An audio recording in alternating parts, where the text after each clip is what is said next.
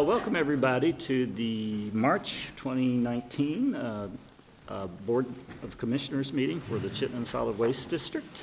Um, The first item on the agenda is the agenda. I- We do have a couple of changes we're making to that. Um, We're actually going to have two executive sessions this evening, uh, one up front here um, to discuss uh, board procedure as well as some personnel issues. Um, And then, uh, and anything else in that? There was one other thing in Um, that. Legal, right? Legal. Issues? Okay. And then we're going to have a, an executive session near the end, uh, you know, after uh, other business um, uh, for an item regarding contracts. So um, we're going to be doing that. And then we're going to move, Right, there's one other The order. um, a change I'd like to recommend that we swap items eight and nine. So um, to have the future MRF site search and analyses discussion as item eight, and the fiscal 20 budget overview as item nine. okay. And unless there's any objection to that, we'll proceed that way. Okay, great. Um, Next is the uh, public comment uh, period, and. We do have some We members do of the have some public. members of the public. Would uh, you like to make any comments at this point in time? I'm good. Okay. Um, If something comes up that you'd like to comment on as a, uh, during our board, I'll give you time, um, during our agenda, I'll give you time to speak. Um, Okay, and then next is the executive session, I believe. Um, Do we? I move the Board of Commissioners of the Chittenden Solid Waste District go into executive session to discuss personnel issues and to discuss confidential attorney-client communications made for the purpose of providing professional legal services to the Board of Commissioners where premature general knowledge would clearly place the district, its member municipalities, and other public bodies or persons involved at a substantial disadvantage, and to permit staff and the solid waste district attorneys to be present for this session. Second. And I'm actually going to ask if it's okay, for the first part of the executive session, I want this just to be a board, so no staff. Uh, For the second part of it, we will call in uh, the appropriate staff for that, if that's okay. with the That's fine with second. me. Is that okay with you, Lynn? Okay. We have a motion and a second. All those in favor? Aye. Opposed, nay? All right, next uh, item on the agenda is the minutes. Do we have Make a motion to approve the minutes of January 30th. Uh, so- I'm sorry, was that a second? Seconded. Seconded. Okay, we have a motion and a second. So additions, corrections, comments? Those in favor of the motion signify by saying aye. Aye. Opposed, nay. Abstentions? We we still think the motion passes. Great, thank you. All right, next is finance. I assume Deke will turn that over to you. go through. Um, First is the report of warrants. Um, Comes right out of the system now. There's, uh, we- we're fully um, moved over to um, QuickBooks, and so we can very easily report, uh, print these. And so um, everything over 7,500, if you'd like to know more, this is a pretty easy print. So, um, so any questions on the checks? Personally like it. Okay. Um, Bank balances, as expected, this time of year things uh, slow down a bit and then they'll pick up again. Um, the one thing I'd like to call your attention to is the landfill post closure. Um, you have a report, I mean, a request to approve a policy tonight that would change how that's calculated and that would um, move depending on what happens with that policy. So that $939 could go down depending 1, on. Huh? $939,000. Um, that would be a problem. oh, would, yes. Um, Two Zeros. Boy, yeah, inflation over three zeros. Um, so, you know, we're, any questions on cash reserves? Is that the memo that we're reading here? Is that no, for some reason, the memo I had on this didn't get okay, included, so you. okay. I don't know why. Um, I, it may have got lost in circulation, there was a lot of memos flying around. All right. Uh, Second quarter financials were um, well ahead. Uh, Just a reminder that um, we used to do a lot of this based on budget. We're doing everything based on actuals now, so we can actually tell where we are. Um, We're, you know, basically ahead on revenue, um, slightly behind on, on most of our expenses. Um, The, the use of the solid waste management fee is much lower because we had agreed that um, there, there was a rate stabilization, but for those of you who are new, when we raised rates at the drop-off centers, we raised rates more than we needed in the first year. We expected to go even in the second year and then use that money in the third year. So we're in the third year, and, and so I've depleted that fund before I start taking solid waste management fee, and that's why we're uh, below. I think that that is not something that was agreed to by the board. Um, the solid waste management fee for the drop-off centers and the building up the reserve was based on the MSW, I think, that comes into the drop-off centers.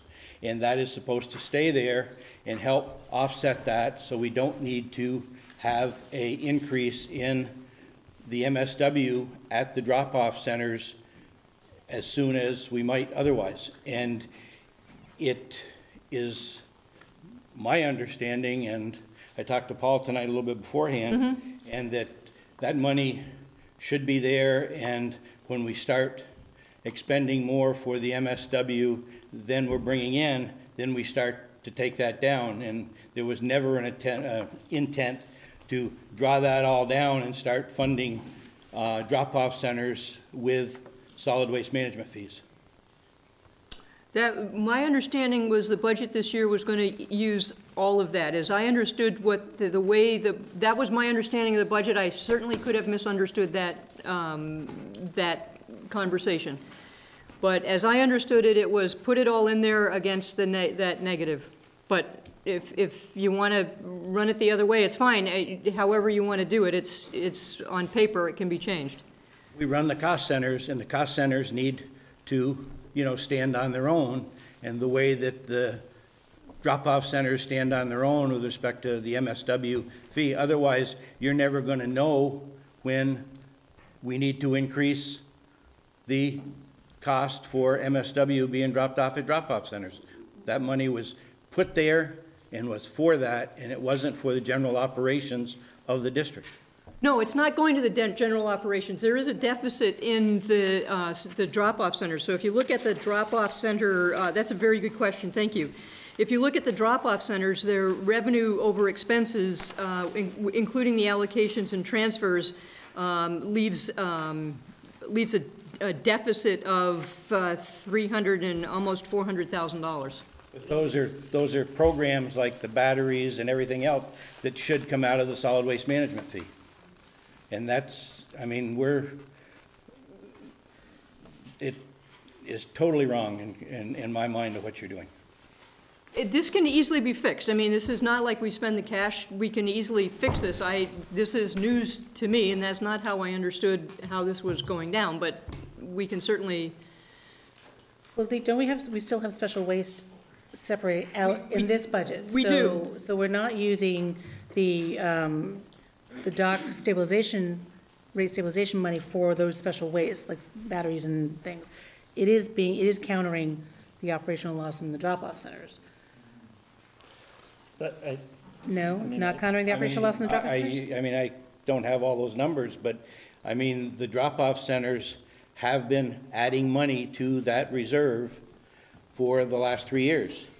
And are, you know, and, and we wouldn't have burnt all that money up if we were, you know, starting to go over the edge. So three years ago, we had what, um, at the time, the district called a, a double bump, right? So they, they Right. raised the fees twice.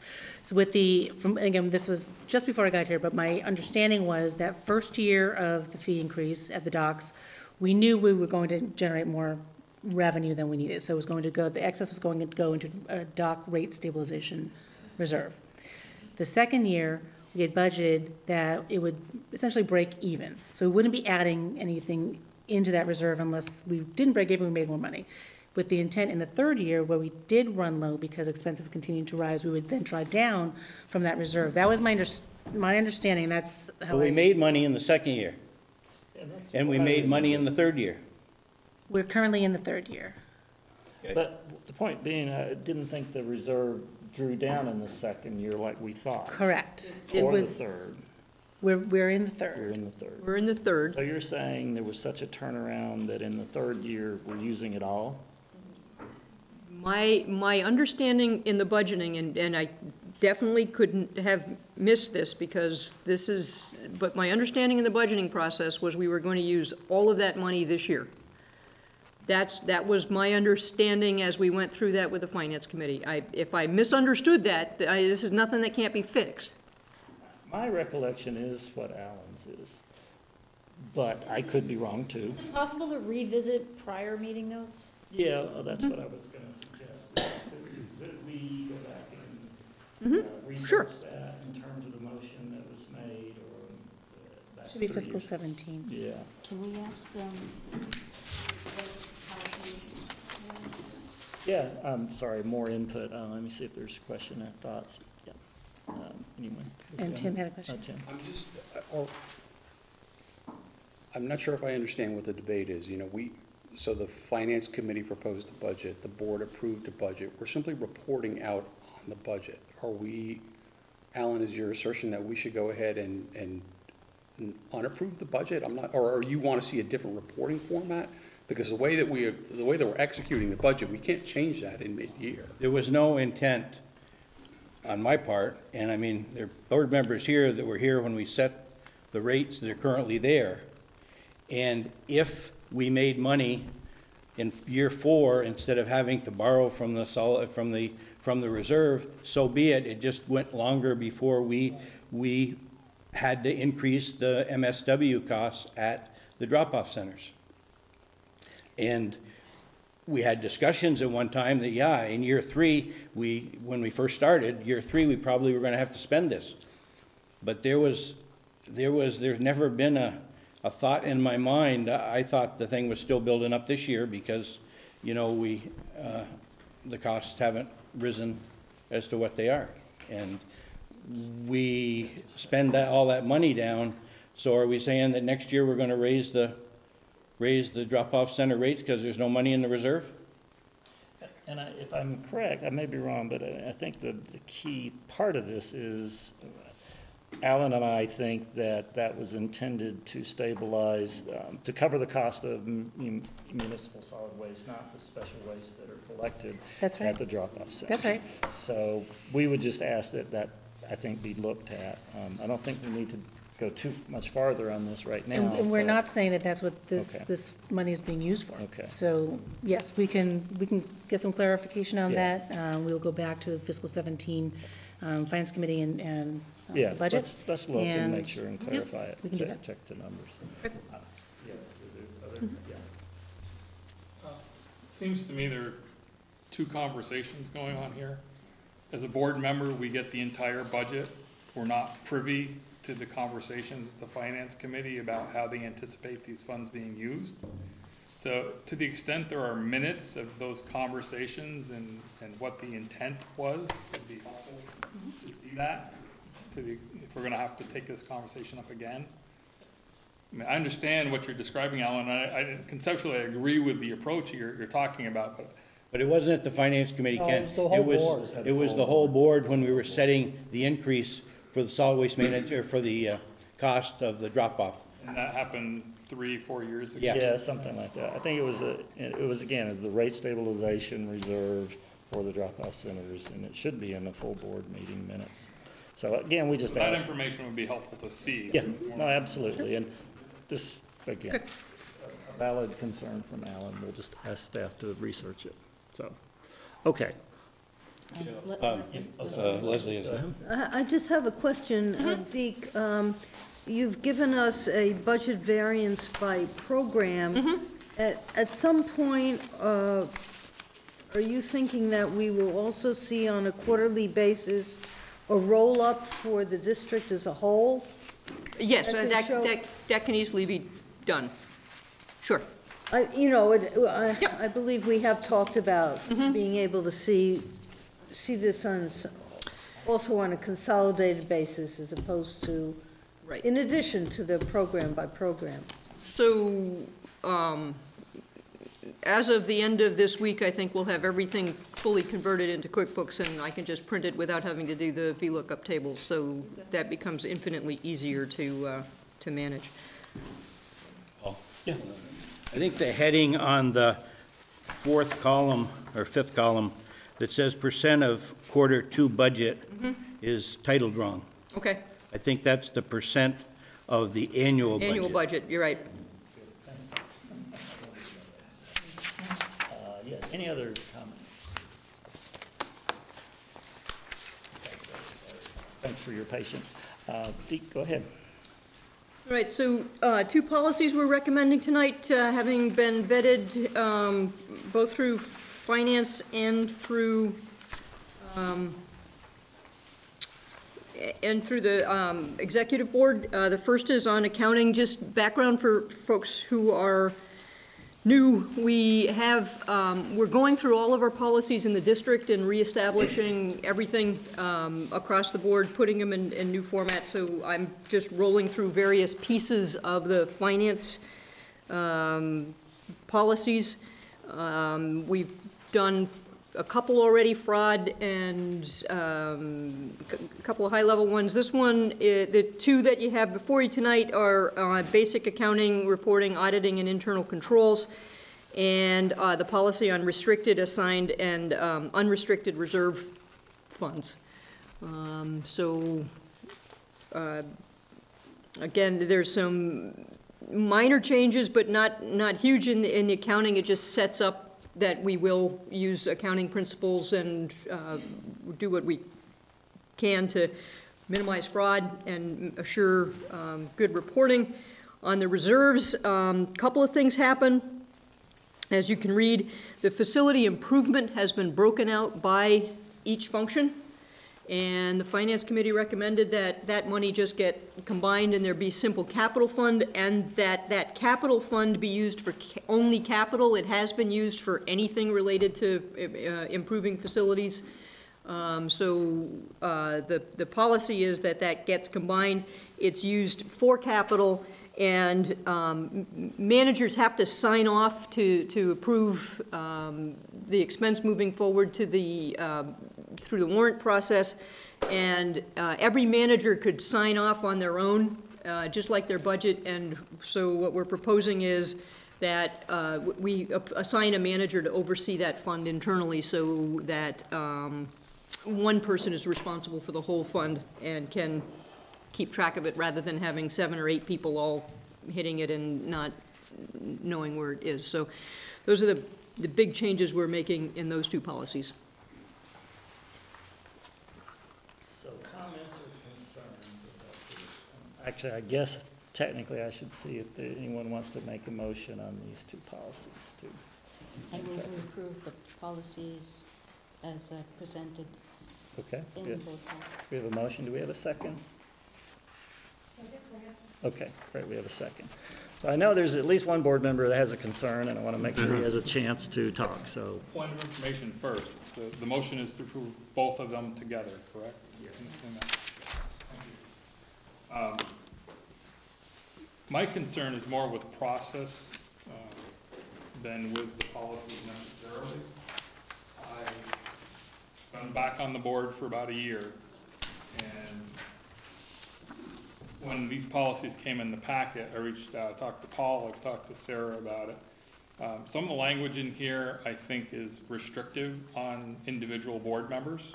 It talks about what the finance board has access to, talks about what the full board can decide to have access to. But read literally, this would imply that any individual board member could not request certain information without getting, either going through the finance committee or through the full, getting the full board to vote to allow it. Um, So I suggested, and would suggest here, that as these policies are being developed, the first draft, or at least early in the draft, should be shared with the full board. So as the finance committee and the exec board are talking about it, they can have any input from individual members. Perhaps some people have none, but some people would have input that they would want to see considered, and not come here having, having the subcommittee spent four meetings talking about this, staff feeling like it's pretty much done, and then we end up debating for an hour over what language should look like. Can I pause you just there a moment? I just want to ask a clarifying question of Deke here. I, I think this is really the first time these kind of policies have been coming before this board. I mean, have we approved this at some point in the past? Because um, my memory's not so good, but These two in particular, or policies in general? policies in general We've like been- this. We've been, yes, we've been, been bringing finance policies I know, for the for board for the past about few months. Yeah, but I'm talking about before that. Talking Oh. about pre-Sarah.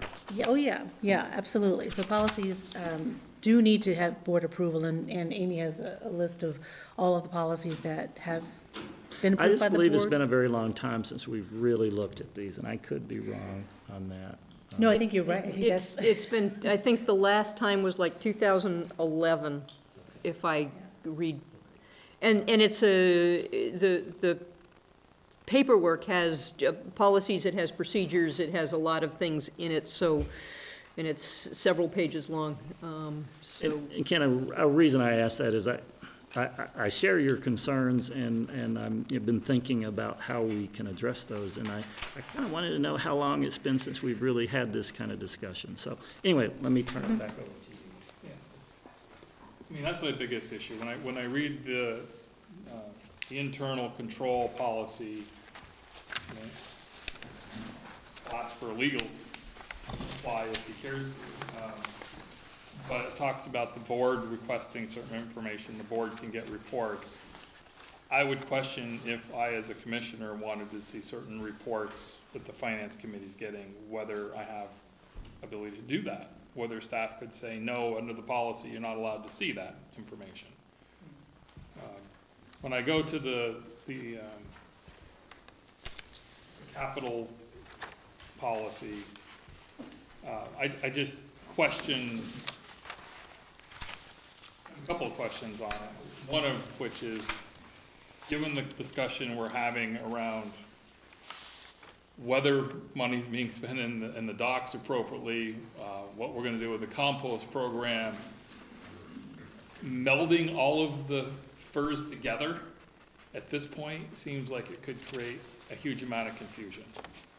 And I question whether now is the right time to make that change.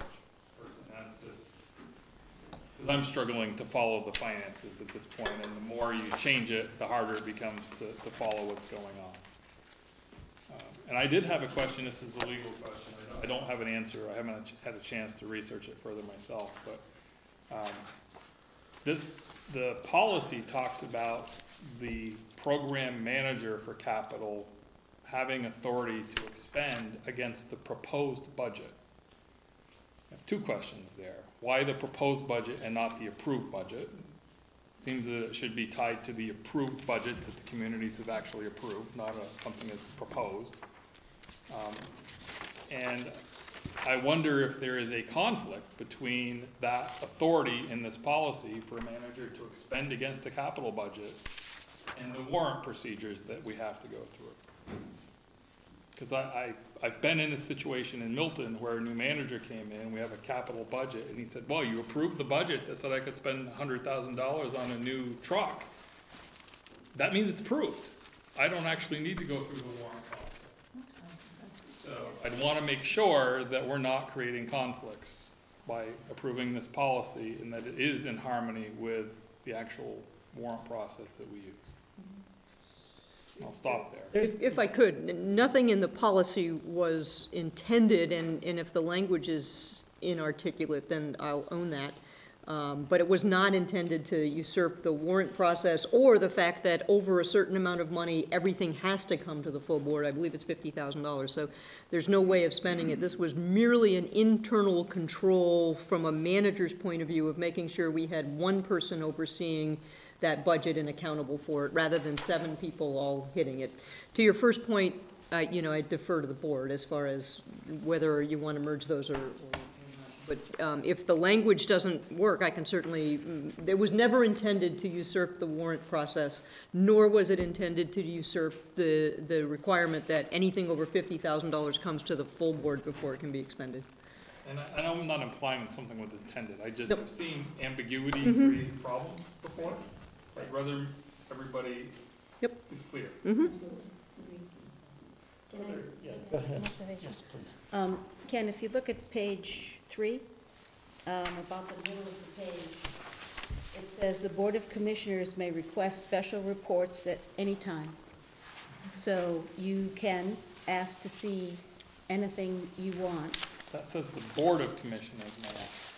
Doesn't say a commissioner may ask, which is my concern. Uh, uh, We can put that in. What, oh, I'd like to understand from you um, what your, what, how you envision the remedy to this. I'm not sure I Um, understand. Well, you seem to have a problem that there is a finance committee and there is an executive uh, committee.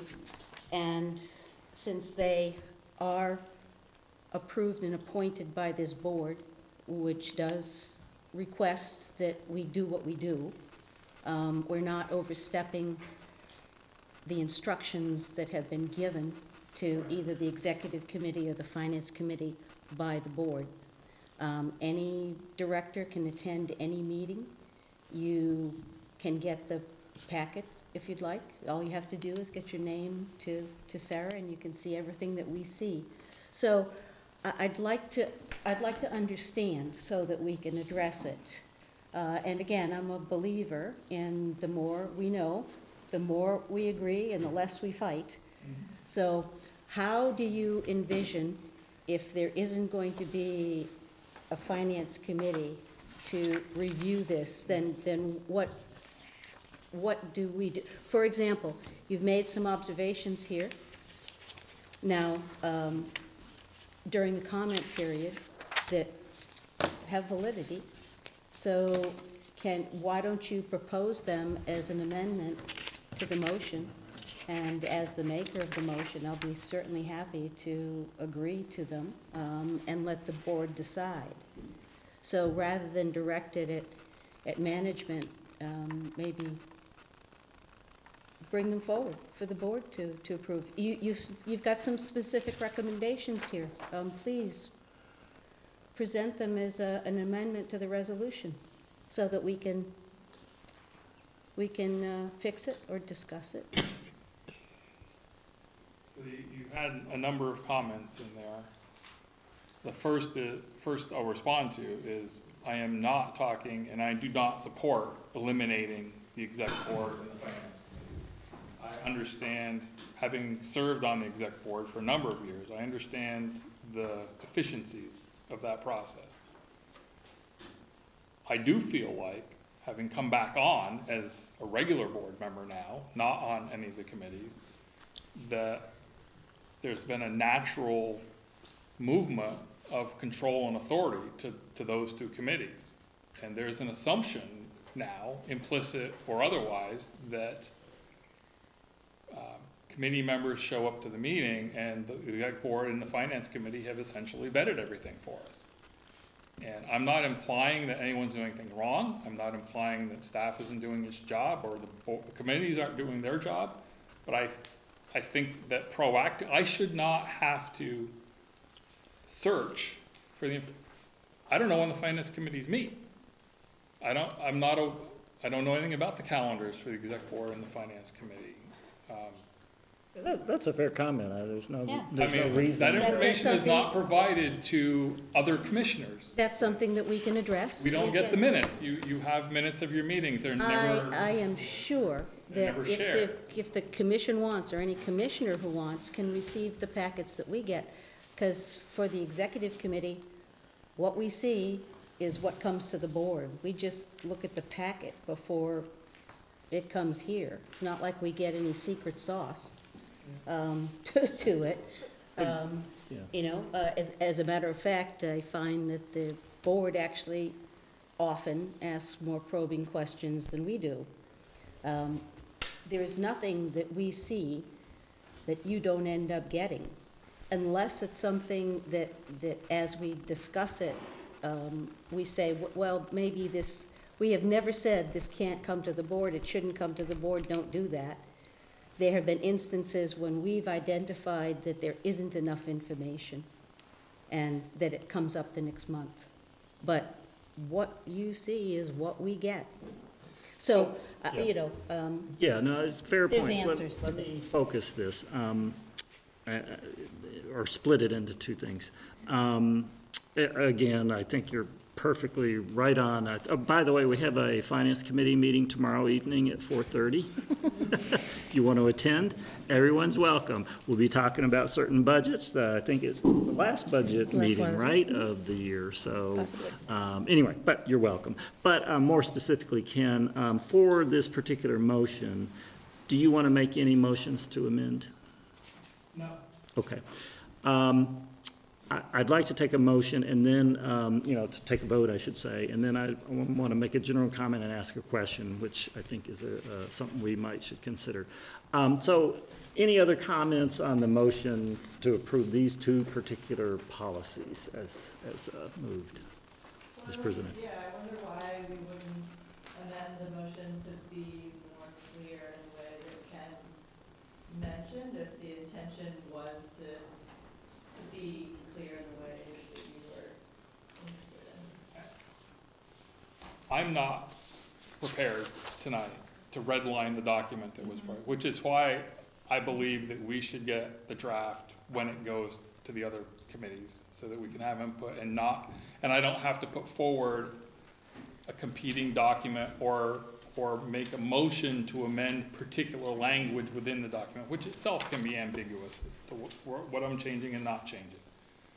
I'd prefer to, to have a process where the committees that are vetting this, who have authority, can actually have a way of taking input from other commissioners rather than doing it in this forum, because I think this forum is a, a very difficult way to have We- that. So let me, I I need to make an observation about that. Th- This is the board process.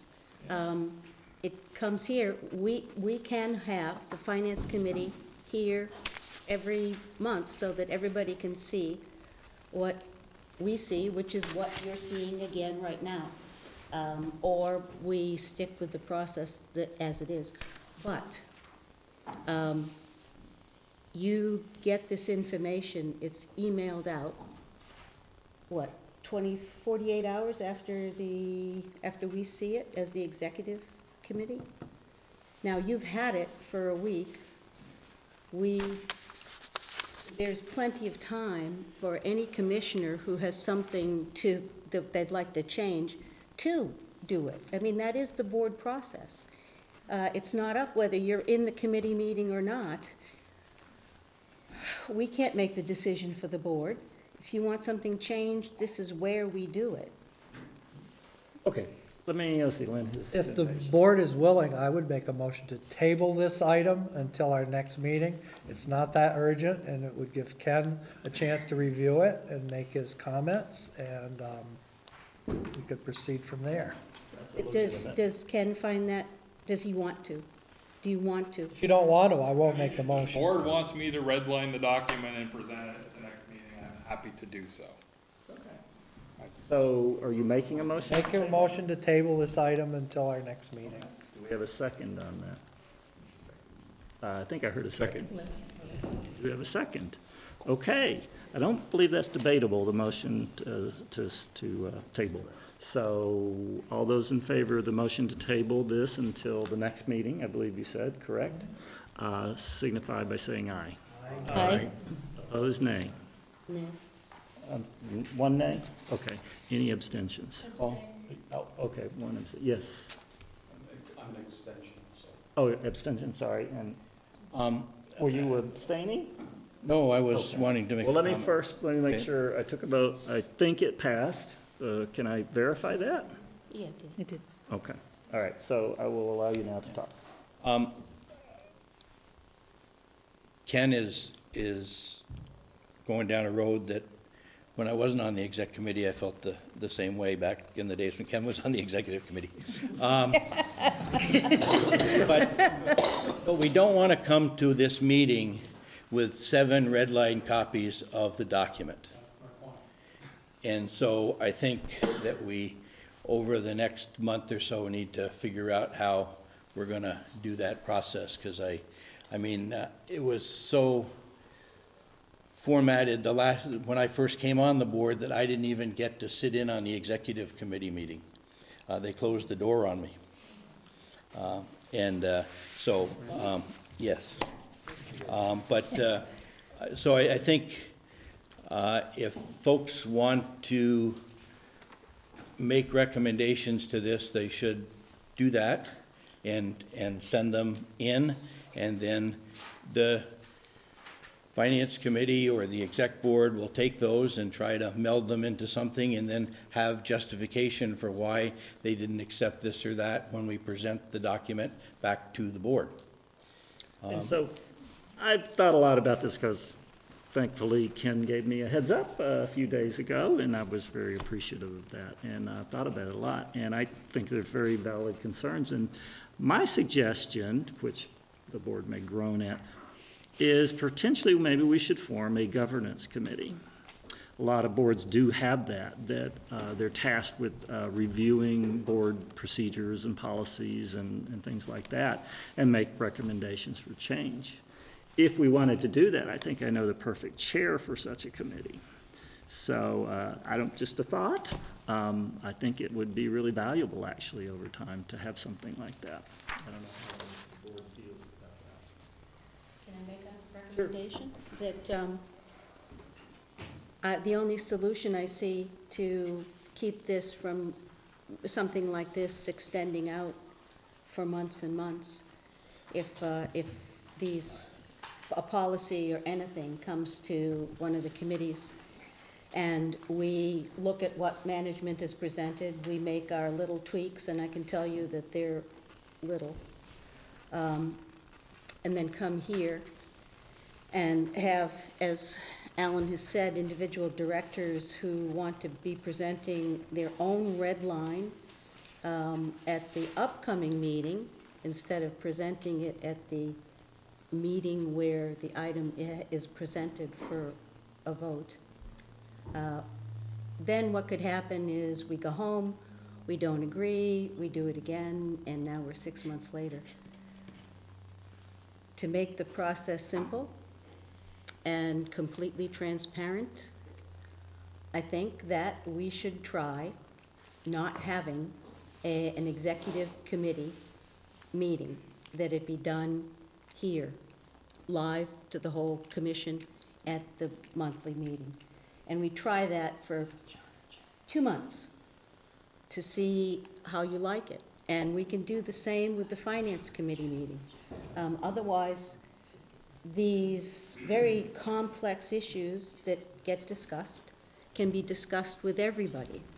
Um, I, I really do think that uh, that's the only way to really get to the, a true answer that isn't going to drag making a decision out forever. Uh, Does anyone have an appetite for that? Or do you want us to continue with the process that we are? Because right now, I see us seating a director, control over not only established, but mandated, because it's been voted on process, without the commissioners saying yes or no. Uh, I, I have no appetite. I think the process works extremely well.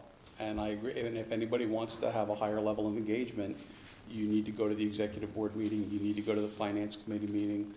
We need to give Alan a special pass so we can't slam the door in his face. We- you know, the- And I think it is, it is very difficult. The, it would be extremely inefficient to try to make those decisions in this forum, right? This process works. We, the larger group goes ahead and delegates authority for decision-making in specific areas to smaller committees, which can work much more efficiently, much more quickly, much more collaboratively with staff on a face-to-face basis in a much more timely fashion. If, there is absolutely no downside in increasing communication and facilitating that. I will make one interesting comment. I think Ken has a very valid point. If we, if we get the minutes and we have a concern, one issue that has certainly stifled um, if I have a concern as a board member and I want to go ahead and draw in other board members and engage with them and say, hey, I have a problem with this, do you have a problem with this? We've, I don't know if we've done it im- im- explicitly or implicitly, but we've shut down people's uh, ability to communicate via email on, on board discussions, or at least we've discouraged it strongly. And I'm wondering, who cares if it's in the public domain? Go ahead and use email.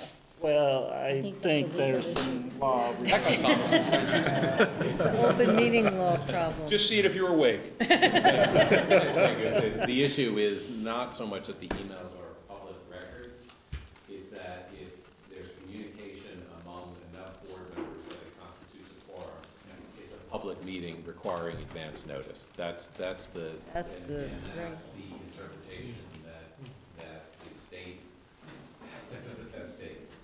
So once we begin a deli, for instance, I believe, you know, you could send a, a- like on the exec board, this happens, um, one member might send out a note saying, here's questions or comments. And I usually to the full exec board, that's, so that's, I usually say, if, if we start responding back and forth, that's a deliberation, okay? And I usually try to remind people, look, it's good to send questions, but we don't want to start a deliberation here online. That would violate open meeting law. I, I need So- to make um, one more observation on mm-hmm. your suggestion for a governance committee, because I think you were alluding to Ken being the, the chair of that. Of course, if you wanted. Oh, but, but- but the problem with that is that it perpetuates the problem that he's complaining about, and that a small group of people will be going over and seeing all this. Might I suggest that instead of having a governance committee, that this should be a retreat eh, for everyone to put their information in and their opinion and hear everything, instead of it being a committee of three that then has to report out to us, and we are pissed off because we weren't there to filter the information that came in, and we don't know what was said, and I don't know, maybe Ken locks the door. So, you know, That- let, Yeah, I understand. maybe do this as Yeah. a body of the whole, as a retreat. And so, yeah, Brent, uh, uh, before I go on, I, I, something I also thought about, I think there are some board members who are tired of retreats, but, you know, I find them very enjoyable, but, um, but I'm odd that way. Um, so, uh, but anyway, so valid, definitely valid, I thought of that too as a potential, so, uh, Brent, yes. Maybe we can just start baseline and just increase announcing when the meetings are and sharing meeting notes and see how that goes. And we can kind of see how that goes for a month or two, and then if that's not satisfactory, we can propose a next step. But that may be logical as far as like baseline. So, uh, again, there's um, no action we need to take here. Again, very valid concerns, and I want to address them. And I think, as Ben just said, one of the first things we can do is just make sure these kind of communications for exec board and finance committee uh, go out to everyone. There's no reason that can't happen. That's great, so, good, good. Yes? I just wanted to comment also that the- all of the packets are posted on our website, uh, including the calendar, so the finance committee packets are there as well. Um, But if board members would like them emailed when they go out, we'd be happy to add that to the Just a simple matter of adding a couple of, of couple of groups to your email, yeah, so that's fine, I think that's absolutely easy. So I'm open, again, I, I welcome the idea of either a retreat or a committee or something, but uh, let's, let's mull it over. I would not Let's- wanna I understand. Let's mull it over and, and, and perhaps we can come to some, some thoughts, but let's, I don't think we need to solve it here tonight. So I'd like to move on with the agenda if everyone's okay with Uh, we did, We did, did, we tabled it Okay. until next time. We're waiting we for Ken. tabled, we tabled. So much conversation, hard to Red. I understand. So, all right, we'll uh, move on if that's okay with the next uh, agenda item. So, and which is um, my update, and for um, the item that's li- listed as passed, we'll be actually talking a little bit more about that uh, under the future MRF site search and analysis piece. Um, And then it was a very busy couple of months since we didn't meet last month, Um, and you know, a lot of progress is being made on a lot of different fronts. So, because there's so many different items, if there are any particular questions on any one bullet or not, I'm happy to dive deeper into what I've got? Um, The first one in the past, there has been discussions by this board a few times in recent years that there is no desire to change the governance of the board. So um, when I saw that in there, especially with the Central Vermont Solid Waste District, I was very concerned.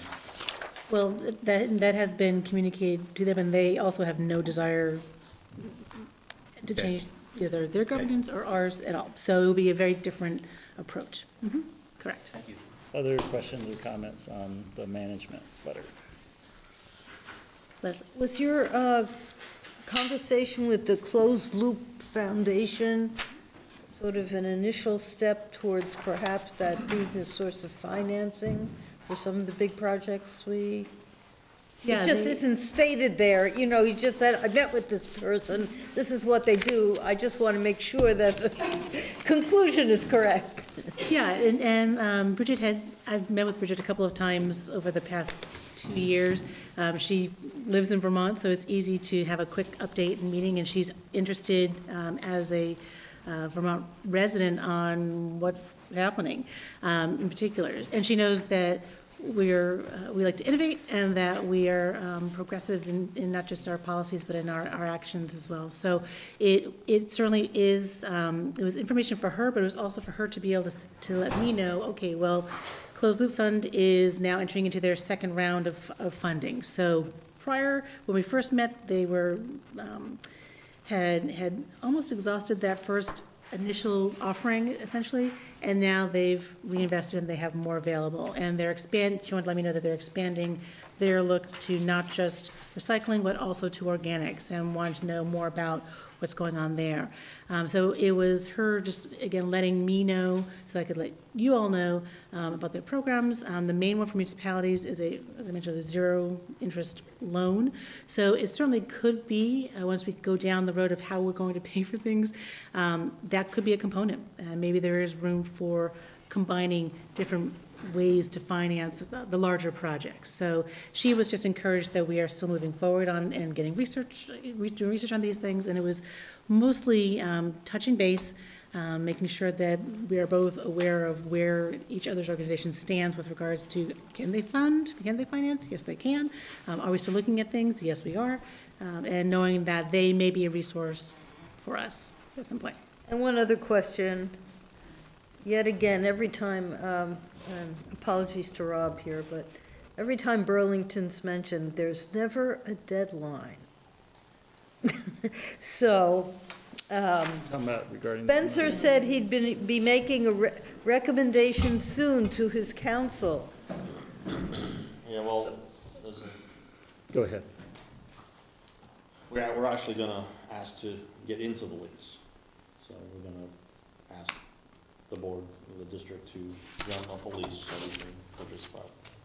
So I spoke with Chapin today, um, about that. So this was sent out last So week, This all happened Oh, a okay, couple hours well, ago, so. that's a contract, a couple of so- hours ago. yeah. Okay, In, in light of. just saying, when, when you see something like that, it's like, And in the effort to fully disclose more information, um, this is not secret, but, uh, at an exec board meeting, when was it, February?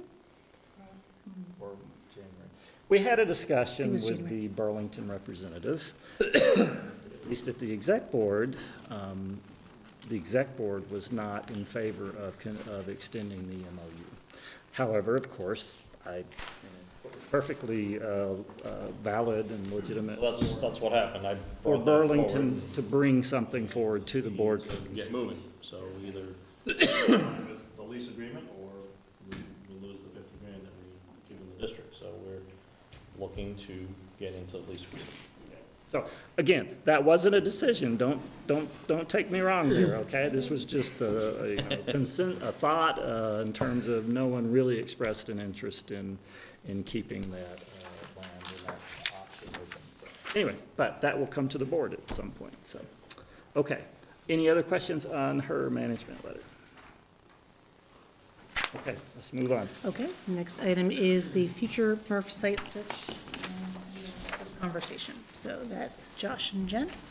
Oh, no, I'm sorry, I'm sorry, roll-off container purchase. That's Brian is on. Apologies.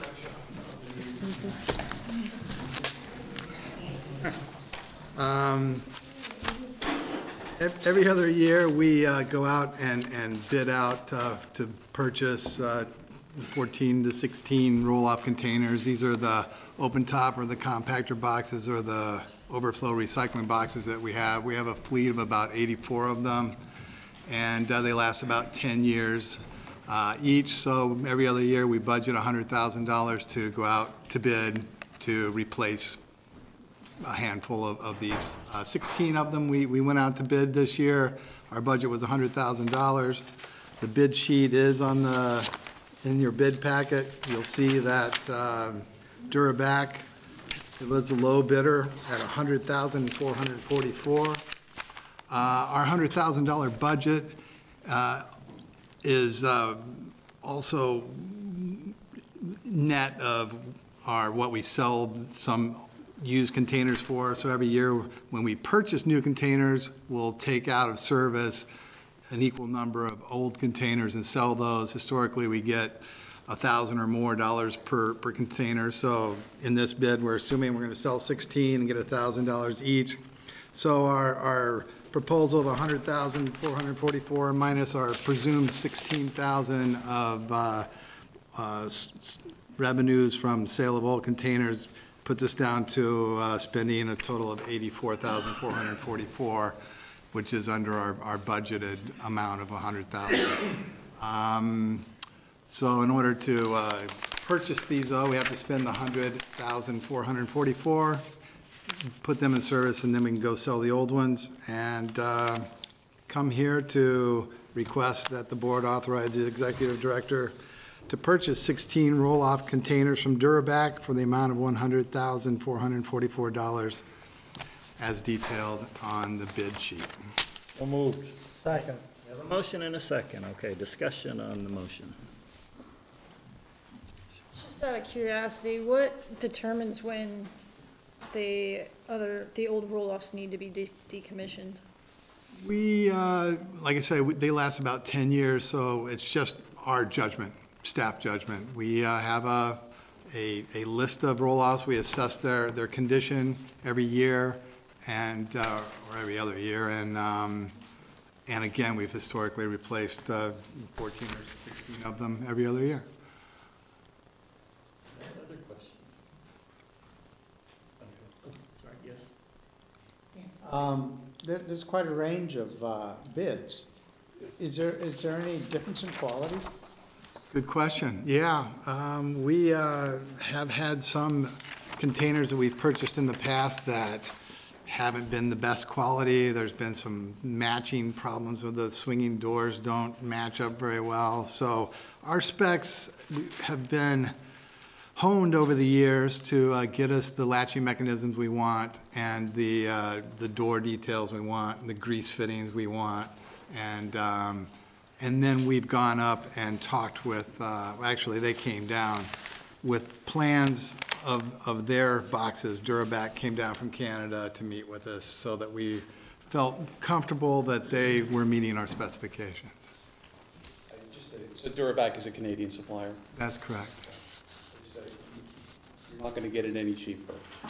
Got the right guys. That's what they said. We're gonna win this one because of the Canadian dollar, so, uh, Uh, it's actually, it's the tariffs are the big issue. Right. And- And I find that all steel products that come out of Canada are very high quality. Durabac's, we've, we've, we've had Durabac, uh, equipment in, in Burlington and, and it's lasted a long time. It's, it's been good equipment, yeah. Other US-based suppliers have to pay the tariff, right? And then the Canadians don't pay the tariff, but the tariff doesn't get imposed on the material that's processed in Canada and then imported over the border. So that's why we highly fabricated material. Further questions or comments on the motion? Okay, all those in favor of the motion signify by saying aye. Aye. Opposed, nay. Abstentions? Okay, motion passes. Now MRF. All right, uh, step one siting criteria. Uh, Over the last couple months, we've brought to the board uh, the concept that the existing MRF we had is, got a lot of bang for its buck. Um, it's- it's Running out of space um, in both uh, space and size of the property. So um, we're looking forward um, into where we could potentially put a new facility. So that's what this will be the first part of. So just to bring you guys back, uh, in September of 2018, we had a board meeting, we talked about kind of the, uh, the state of the technology that's existing currently today, the state of technology that we have at our facility. Um, You know, we talked about markets in the Chinese national sword, and we kind of covered just the basics of where our MRF's at. Um, We also set uh, a board retreat date. Um, We had a board retreat on December 1st. Um, At that board retreat, the board had directed staff that they were interested in looking into a new MRF. The board had also directed staff that they were also interested in that MRF being regional. Um, One of the large take-homes was that the board wasn't going to make any decisions without a comprehensive pro forma and economic analysis. So um, that's what we're moving towards at this point. Um, Three concerns that came up at that retreat um, was for us to look comprehensively at all of Chittenden County for uh, a siting profile. Um, Another question that came up was uh, the use of Redmond Road in Williston, um, if there is any restrictions for that property. Um, And then inbound single-stream tons. You know, Currently, we're at roughly 45 to 48,000 tons. That will be determinant of how we design our facility. So I'm going to speak to the first two um, in this presentation, and then Sarah will address where, where we've gone with the inbound single-stream tons.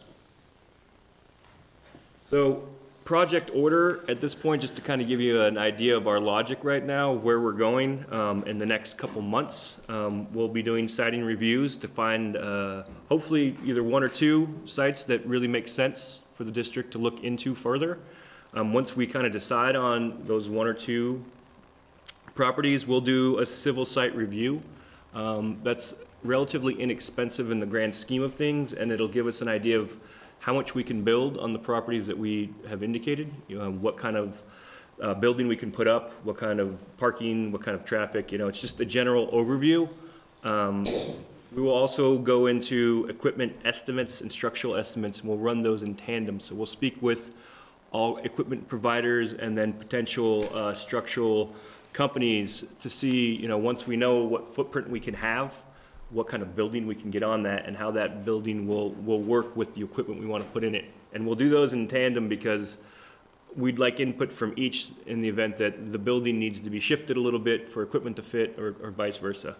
Um, and then once we have all that information together, that's when we'll come to the board with our comprehensive business pro forma to give you guys an idea of where, where we're looking, um, pretty specifically where we're looking, one or two spots. Um, what it's gonna cost generally, it'll be budgeting costs, but, you know, what we expect, how do we expect to pay for it, what kind of time frame we expect to pay for it in, and how that's gonna affect the district as a whole.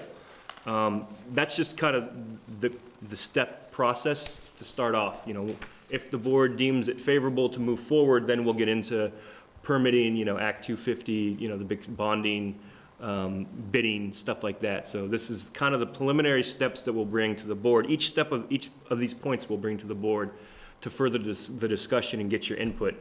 I've kind of got circled, secure in- inbound tons right there. That's going to be going the entire time because we do have in-district tons that are generated in our county, in our district, and out-of-district tons that are brought in. And so we need to get a level of confidence that we know what that tonnage will be now and moving forward.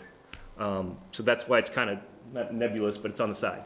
Um, And to give you guys an idea, you know, just a, a, a point along the time frame that we're looking at, you know, our current contract at our MRF expires June 30th of 2022. That doesn't mean we need to rush into this. We can extend that contract, uh, you know, um, but it's just a, a point that, you know, to show that we are trying to move forward so we have an idea of what we want to do before the contract expires. So getting into siting, um, we broke it into two tiers. Tier one is kind of the go or no-go, real basic stuff, you know, does this work? Yes, move on. Um, tier two is, is got a little bit more nuance to it. A, a lot of the stuff in tier one will feed into tier two. Um, what I'm gonna show you tonight is I'm gonna walk you through the tier one criteria that pared down the properties that we found. And this is really kind of the meat of this presentation and, and really a pretty important point in, in how we're gonna decide where we wanna build because the amount of land that we can secure um, and where it is will determine a lot of, we'll have a good determination on how we, how we build and what we can build. So I really want to walk you through this, make sure everyone understands, you know, this, this selection criteria. So the first thing we had to do was just identify industrial, or light industrial zoning, um, because that's what a MRF will fall under. Um, Then there are multiple industrial complexes that have been built in Chittenden County. Um, Some of them just don't have any lot availability, so um, that's an instant selection if it's just not there. Um, Our lot size, we want eight to 12 acres. That will give us enough room for the next 20 years comfortably, so that we don't have the problems that we're running into now. Um, Potential impact to residential, um, that's a pretty significant and self-explanatory point. So when we look at sites that are zoned industrial, we want to see how close they are to res- residential. And, and the criteria I used was I took what the solid waste management rule provides for setback from residential, and then I just multiplied it by five to give us a good buffer so that we didn't encroach. If it's within that, that's considered impact to residential. Um, proximity to 89, right now, we're roughly three, three and a half miles away from I-89. We have equipment, or we have material coming in, so that's trucks on the road coming in, and we also have commodities going out. So our proximity to 89 is important, so we're not congesting multiple roads. Um, and also, it just helps us get material out the door faster. So that's a pretty, pretty important one. Um, impact to traffic, um, we don't want to build it in the center of the Winooski roundabout. So there's some pretty significant areas in the county that have traffic impairment that we want to stay away from. Um, and then local permitting, uh, it's, it's been made aware to us that, you know, if we're looking at, uh, a certain town, we're gonna need to engage that town before we even move forward significantly. Um, because they may want, want us open, you know, open arms, or they may not want us at all, and it's just a, an end of conversation. So that's, that's why I put that in tier one. We, we won't jump too far into that right now in this conversation, but that's something that we see as important. Tier two are kind of all, all tier one will feed into tier two. So a lot of the Act 50, 250 stuff we'll have figured out in some of these, these criteria. Um, proximity to population density. The farther away you get from population density in Chittenden County, the farther route trucks will have to travel, which means the more money they'll have to spend on gas, the more time they'll have to spend getting to our facility, which means that's more money that's put onto the public. So that's gonna be a part of tier two criteria is, you know, in the properties we identify how close you're gonna be into densely populated areas. Uh, cost will play into it. I'm actually gonna use a little bit of cost in, in today, today's presentation, because there's a couple properties that are obvious that are just exorbitantly expensive and they're worth moving forward on. Um, wetlands, wetlands is part of Act 250, but it's also a pretty easy uh, feature to, to delineate. ANR has a great atlas that identifies wetlands, and also if you're just looking at a property and there's a pond or a stream through it, it's, it's pretty obvious there's gonna be wetlands there. So that's a, a good indicator of whether or not we wanna, will be able to build on a certain property. And finally, site suitability and, and perception. Um, just because it's zoned industrial and it meets all of tier one, it may be a high-end business park, and there just may be no way that we'll ever be able to build there. Or if it's a multiple acre, hundred acre development that has slotted light industrial, and talking to a developer, the last thing they're gonna want is a MRF there. So that's kind of that, that last little, you know, straight face test. So that, that's kind of walking you through all, all of our criteria. Does anybody have any questions? Because this is a pretty important part of, of this presentation and moving forward.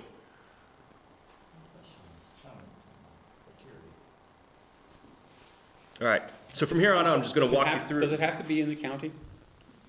Uh, we, our determination was yes. Yeah, I, I mean, I mean, technically, I suppose no, but then who would pay for it? I get- I get the question, I think was, one of Alan's points was, if it's our MRF, but it's not in the county, why are we footing the bill for it, I guess?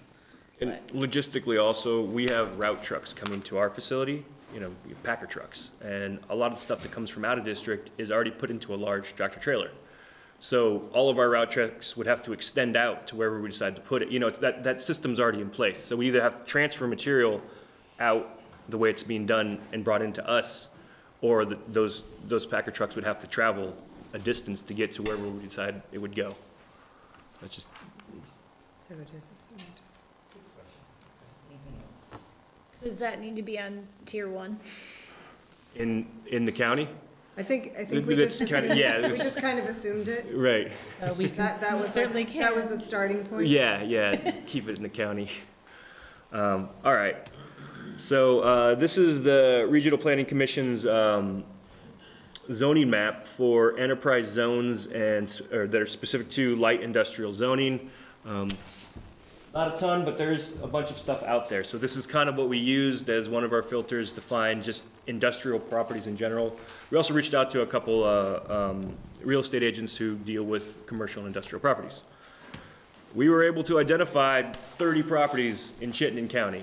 Um, looking at this, uh, table, um, on the far left, I have the town, the description of either industrial park or its location. Um, and then I work through the criteria, uh, on, on tier one. So this is everything that's light industrial or industrial zoned. Um, the next is lot availability, so everything that was from that last list that didn't have lot availability, we dropped. Um, just kind of stepping you through this, you know, we moved into lot size. So our criteria was eight to twelve acres. I've highlighted four, um, Essex Saxon Hill Industrial Park. It's, uh, six point six acres is the largest site. Um, but we could buy multiple pieces of property and, and put together an eight acre site. It just, that seemed unreasonable. Um, and there was also a pretty significant potential to, to impact residents. Um, in Milton, off of Route seven, there's a, a property that's eleven acres, which looked great. Um, and then I looked farther into it, and it's riddled with wetlands, so there's really only less than four and a half usable acres on it. Um, so I'm gonna drop that one. Again, South Burlington, Mountain View Office Park, um, there's thirty-one acres there. Only seven roughly are usable, the rest are wetlands, so we're gonna drop that as well. Um, and then, uh, in Williston, between Industrial Ave and Williston Road, there's another, uh, industrial, uh, a couple of industrial properties. There's significant wetland concerns there, and also we'd have to piece together, we have to purchase multiple properties to get the footprint that we wanted, so I'm gonna drop that as well. Um, impact to residential, really the only one on this list as we've gotten down this far is, is uh, a piece of property in Shelburne. It's behind the Volvo dealership. There's two separate residences that fall within our, our footprint. Um, so the decision was to, to move away from that one. And then proximity to eighty-nine, I reoriented everything to, um, thi- this proximity piece right here, um, from closest to farthest from eighty-nine. Um, that Route Two development, or Route Two A development, I know that cost six and a half million dollars, was, which is exceptionally exorbitant for cost, um, and it doesn't seem responsible to try to go after that. Um, the Saxon Hill Industrial Park, that was an outlier, it was outside that three to three and a half mile radius that we had indicated we wanted to keep our MRF as far as proximity to I eighty-nine. So, and there's also significant traffic impacts there. So those were dropped as well. So we've managed to whittle it down to roughly five potential properties. Um, these are five that I'm gonna go into a little bit more depth, maybe next month, maybe May. I have to, I have to get a couple more contacts.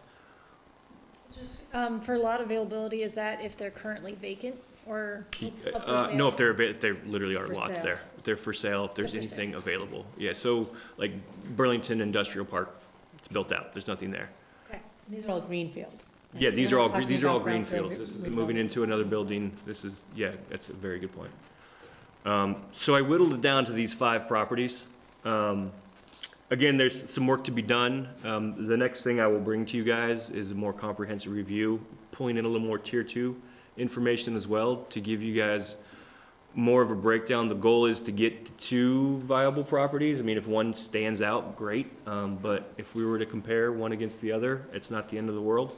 Um, but that's my next step with you guys, which, um, this is what the next step will look like. Um, so this is kind of what we're thinking as far as population density. This is a population density map. Um, I'm gonna, I'm gonna have to get up and show you guys. So, um, this is our baseline. So here is, our MRF is roughly in this area here. This is the exit to, uh, off 89. It's within a three, roughly three mile area. So what we did was, is we, we looked at, based on population density and proximity to the exit, how much time it takes to service, um, the population around this area. So this white line, which I hope you can see, is a ten-minute drive time to get to our facility, and it indicates the population in that. And then there's a fifteen-minute drive time to get to our facility, and it indicates the population within that. And so that's, is, the next presentation will bring you, this is kind of our baseline and what we're doing now and how we're servicing the community. The next, uh, the next presentation I'll bring you are the properties that we've looked at and how those kind of stack up to this. Are we missing a significant chunk of the population within that drive time? So that's just kind of a, just to get you guys warmed up for, I don't know, two months from now. Um, so again, next steps, that's, these are the properties I'm gonna look at. I just, you know, really wanted to bring that up and show you guys. This is where we're moving forward. Again, this is a greenfield, you know, project that we're looking at because we want to build what we want for the next twenty years. Okay, questions, comments, especially if anyone has uh, other criteria they think Yeah. that should be looked at. That's Uh, most You've important. whittled it down to three municipalities. So have, has anyone made any calls to those three municipalities, the governmental office, to see whether or not they'd say yes, no, or maybe? So I presented uh, an infrastructure update to the Williston Select Board last week. Um, And, and Craig is not here, but I don't know if he copied you on the email that he sent, okay. Um, So you may be able to, I didn't see the email, so you may be able to talk more about that. But he had some concerns with um, potential traffic impacts and noise impacts uh, if there, if we were to relocate the MRF to the property that we currently own on Redmond Road. So I don't know if there's additional with um, finding more inbound product from out of Chittenden County um, and thinking about increased traffic. um, That sort of, sort of managing stuff that isn't our, we're not creating it, but then we're having the, the traffic impacts. Those Sort of the main concerns. So what we didn't say um, is that currently we do manage a, a- a mix of in-district and out-of-district material. Um, And part of that is by contract and part of that is price point. So, you know, we're already seeing that, um, but I think it was, it's not on more residential roads. It, it is on a very heavily, obviously it's on- off Industrial Avenue, it's designed for that, that traffic. So that was the main concern, was moving away from a clearly delineated industrial park to land that is, yes, zoned for solid waste purposes, but is not necessarily an industrial park. And what are the traffic impacts there, which again is all part of 250, but we would do that ahead of that as well. Uh, I'm sure you guys uh, have written this off for a good reason, but could you just speak uh, briefly about why you decided not to look at brownfield sites?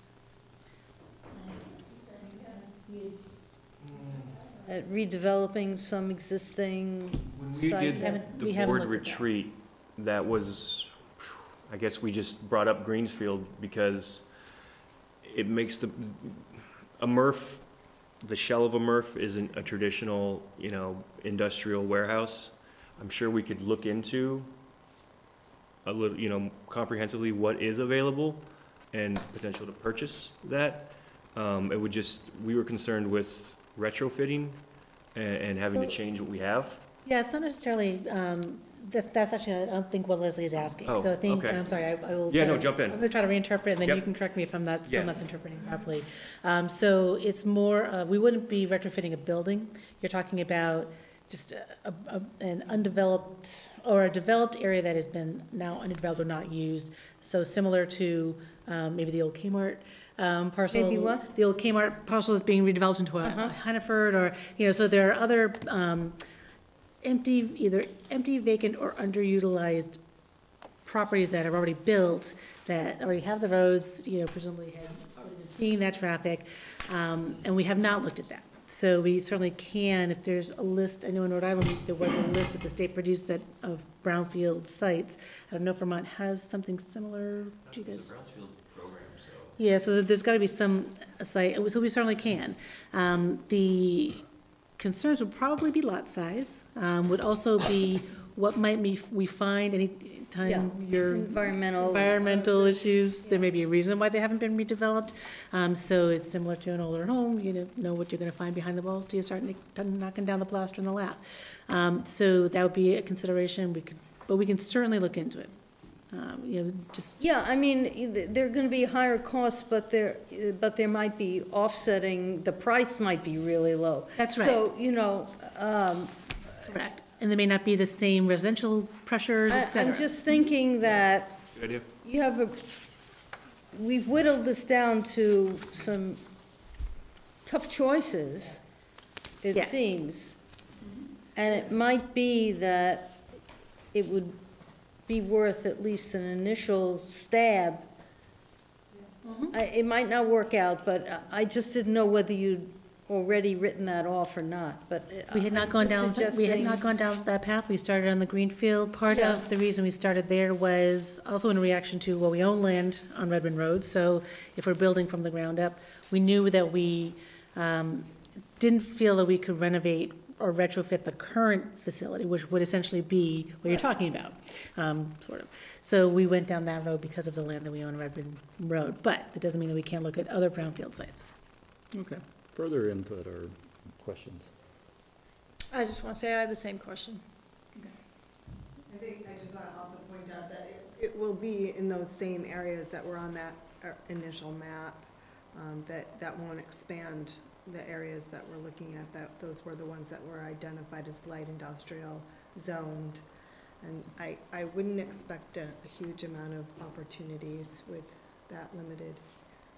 I, I figure you can pretty easily, Yeah, we can, Yes, we can look into it pretty yeah, easily. Just won't be as too soon tough as to you figure right. out the We'll bring that the eight to next, the 12 next time we talk, acres. we can address, you know, what we found, and if something did jump out and make sense, it would be a shame to miss it. Ken has a uh, comment. Yeah, Ken? I just recommend staff make a quick call to the Milton Yeah. town offices. Well, I've talked to the staff about this effort, and there's, initially, there was interest. But looking at the parcel, if that's the one I think it is, that's, it's off the market, Oh, okay. not available. Spoke with the landowner last week, and he was also discussing potential sales, so my thought was, once y- we got kind of the approval to look at these five properties, then to kind of go back in and reach out a little farther, and that's when we address the town, you know, that, that these properties were in. Um, I think there's some developers in the area that would purchase existing sites and provide, you know, that land or a building, you know, um, and I, I think they were very short-sighted in, in, in not just putting out uh, an option for, um, you know, destruction, construction of uh, a building, you know, and, what you're looking for is a piece of land that's there that meets these requirements. And there may be one piece of land or two or three pieces of land that have a building there that have somebody in them, but for little or nothing, they will get moved. Uh, A fine example is what uh, Miller did with uh, Garden Way, Garden Way. Um, He built the building in Milton to get them out of the building so he could put another 200,000 square feet of building together to, for, for Couric.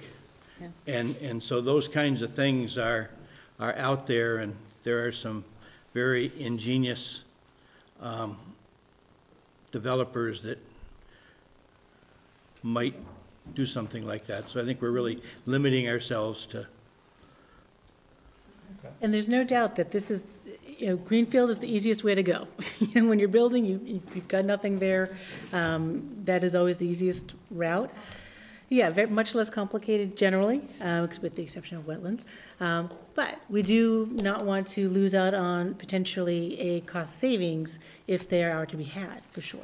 So, Yeah, and, and this is why, um, our plan is with this project is to come to you regularly and frequently, because you know your community is the best. You know, we've whittled it down. We didn't come here tonight with two sites that we're ready to start working on. Forward on, Yeah, right, right. so I, I think, you know, that's, that's helpful information. So direction moving forward, I'll definitely look into Brownsfield, and I'll definitely address, reach out to some developers and see if they've got any thoughts on what they can do, if there's anything creative to be done. Other input, comments, questions?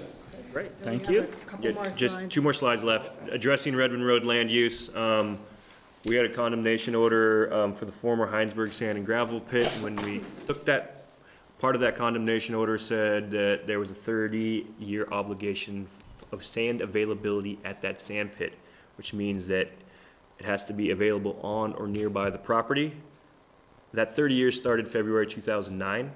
The district bought plus or minus thirty-four acres. Um, we call that the Velco parcel. That's one of the parcels that is in that list I showed you. Um, it was a potential area to stockpile sand.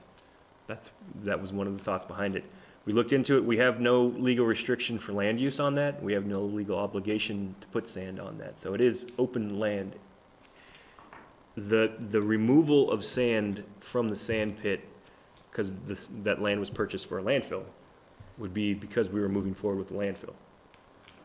So that's, you know, there's, there's other, other hurdles involved, so if we did want to use the Redmond Road land, that's the Velco parcel for, if it does work out and make sense, it is available. I guess that's what I wanted to address, because that was brought up in, in the retreat. So Does that make sense? All right, and then finally, uh, securing inbound tonnages, we right now, um, receive roughly forty-five to forty-eight thousand tons, about thirty thousand tons from our in-district members, and about 15 to 17, 15 to eighteen thousand tons from out-of-district. So I'll hand it over to Sarah to kind of give a quick talk, she had this in her, in her updates as well.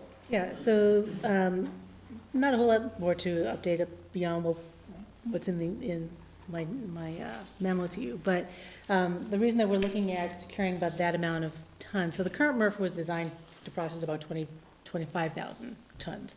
So we are already nearly double the design capacity. So we certainly don't want to design anything for lower than what we're doing now. We want to be able to build in future um, capacity should it, should it appear. Um, And when we started talking about this, um, certainly, you know, Central Vermont um, was very interested and more so to look at whether it's an interlocal agreement or some kind of a, uh, just to make sure that there's space uh, if they, they want to come to our MRF. They do now, um, and, you know, we get material from various counties already, and it just made sense to talk to them if there's any possibility of a formal agreement, not a, uh, and we, and we, we both Xed off the um, sharing governance. Um, We don't want to go out to a bond together that does not make sense, uh, for, at least from my perspective, is trying to have to manage that, and Bruce agreed that that also does not seem to make sense.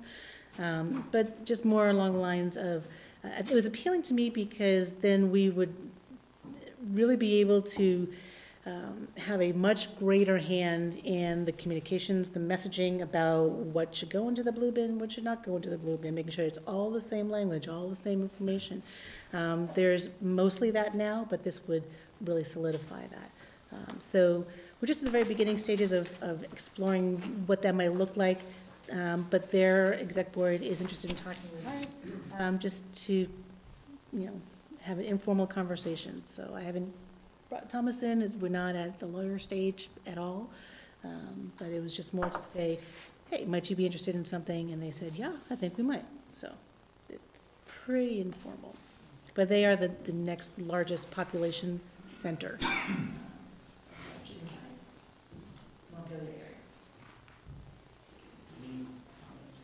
One comment, you know, designing a new MRF and everything, are you taking in- into consideration the changing commodity market? For sure. Absolutely is right. Yeah, Didn't no, discuss it's- that earlier, so I That- just That's asked. part of the reason for the design, I mean, other than we're outgrowing the facility, but new equipment, new processing is, is really essential at this point for that market.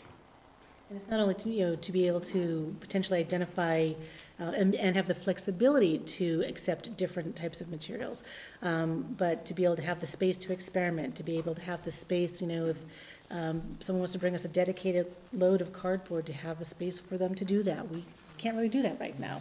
Um, So to be able to offer customer flexibility, um, material flexibility as well, and, and uh, be, have room to grow, uh, which we, we can't grow right now. If we wanted to, we couldn't. Other questions, comments? Thank you very much. Next. Now, it is, um, talking about, there are some, um, I just want to kind of give you a heads up or a preview of some of the budget, um, changes that we're, uh, you'll be seeing next month, some of the, the um, significant, uh, changes that are occurring. Um, and, you know, Deke has a, included a memo in the packet. Um, One of the, so we're just going to quickly run through the organizational structure, um, and this has been, was based on feedback from, um, something from the executive board, but it actually predates me. So there was a conversation with Tom about um, altering the structure of the organization to uh, reduce the number of direct reports that he had. Um, And that was continued on to me as well, and what I didn't respond so to was add the number of direct reports. So what you'll see next month is a restructuring um, for the organizational structure to streamline uh, a lot of the reporting, streamline the responsibilities. Um, We are moving some people around. Jen is one of them who's been moved around quite a bit. Um, And we're also looking at uh, adding a position um, to uh, better organize the operations. So looking at um, moving over time, over the next three years, the- all the operations into one position, having outreach policy, education into one. Um, That change is being made this year, uh, and then having finance administration and compliance. So I will go from nine reports down to five. Um, What that will do is it will free me up to do more of the outreach like I did last week in presenting to the Williston Select Board ahead of the budget. Um, I, I need to get out in front of all of your select boards and your councils more frequently than just once, once a year, um, at budget time. Uh, I'd like to be talking with people regularly about kind of what's going on and getting feedback and input. So that's part of what will free me up to do more of the strategic thinking, planning, making these connections and, uh, and so forth. Um, We, uh, Deke has talked a lot about the chart of accounts, um, so if there are questions specifically about that, um, then I would direct those to Deke. Um, In human resources, again, I mentioned the major change would be a hiring of a director of operations. Um, And then in the first year, uh, that person will be focusing in the four areas that we look, we mentioned on, on page two. Year two, um, they, the, uh, the focus will change slightly as they become acclimated to the position to add on depot. So what we did was, we're, we- we're moving the environmental depot to Josh Estee. Josh uh, is our compliance director, and he has, his background is in hazardous waste, so it was a very uh, easy move to make. Jen is moving into more of the the policy and overseeing outreach, marketing, and education. Um, And then, so Josh has the rover and the depot. And then in year three to four, um, the MRF uh, and biosolids would move over into this position as well. The reason to keep the MRF uh, and biosolids separate for now is, is part of what you just saw. You know, they're in their process. Um, And I did not want to upset um, this team working on their process and carrying it through to whatever the outcome will be.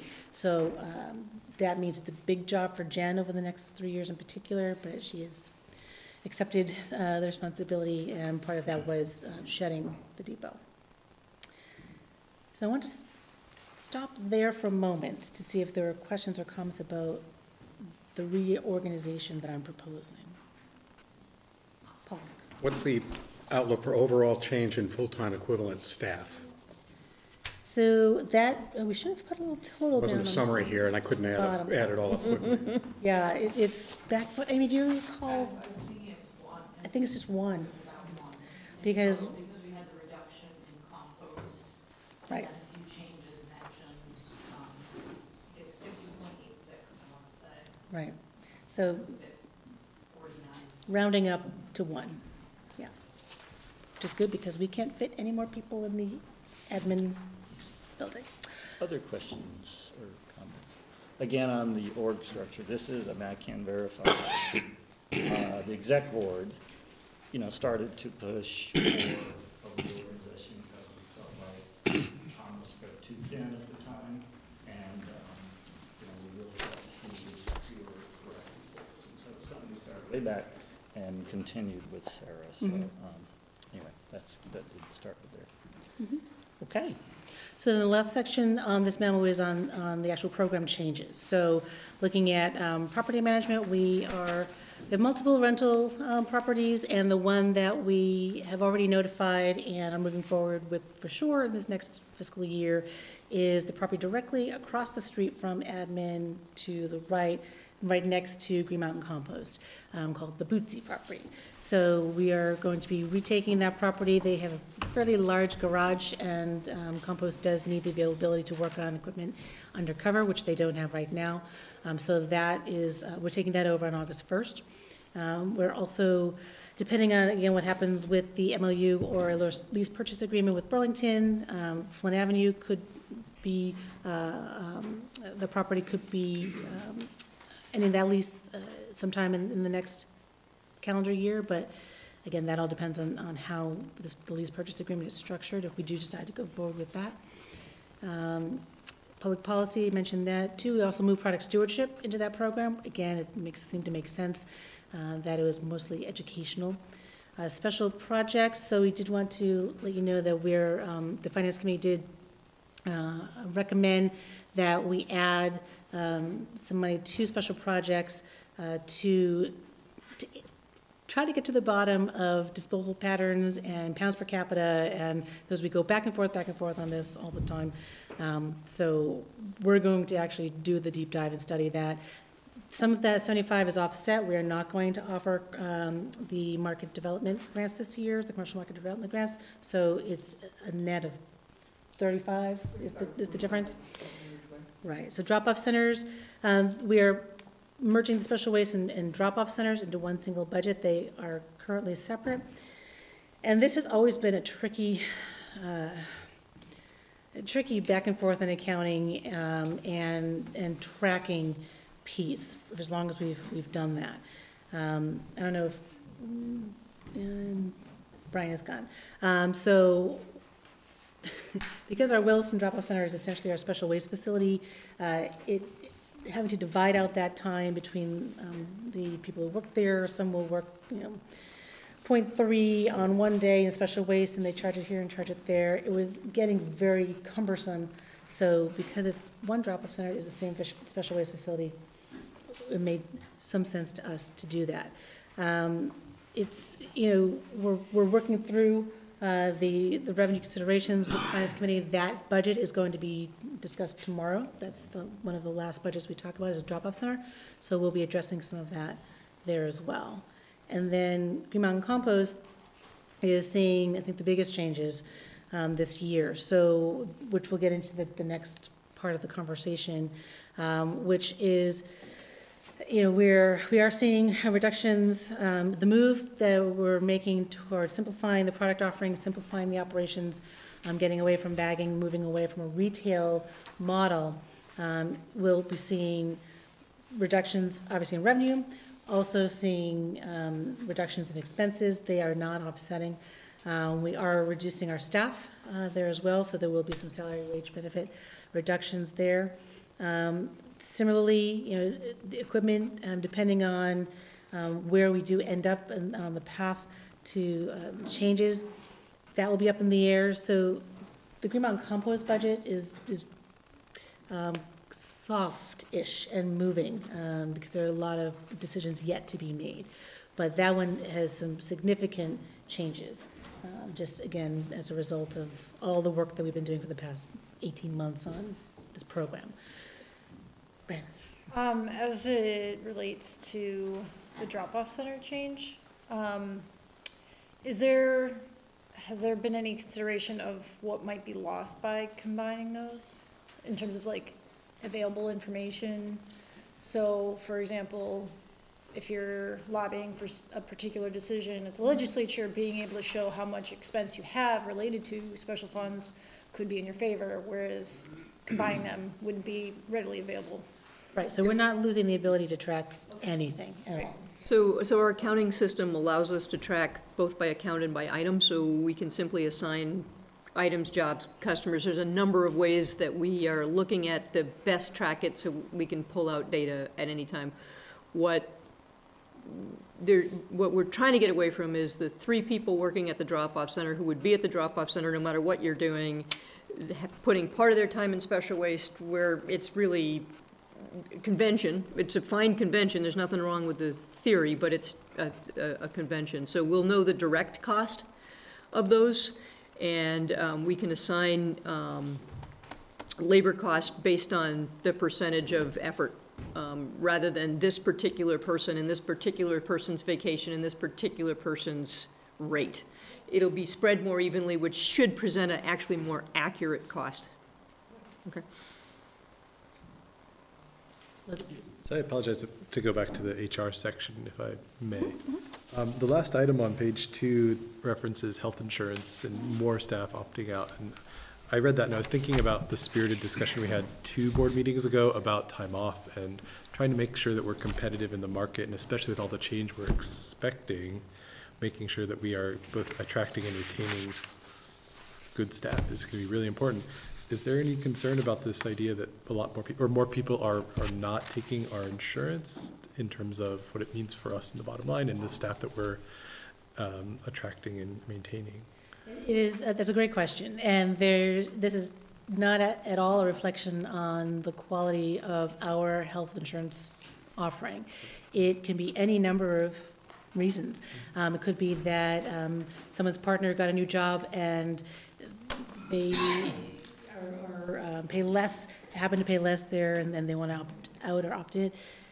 Amy can probably talk more eloquently than I can about this, but we don't have many complaints, if- really any complaints, over the service that we provide. Um, the cost is still competitive, but Amy, if you want to, Yeah, we're in the, um, because of the Affordable Care Act, we're in the exchange, so we have a great Blue Cross and Blue Shield plan option that we offer.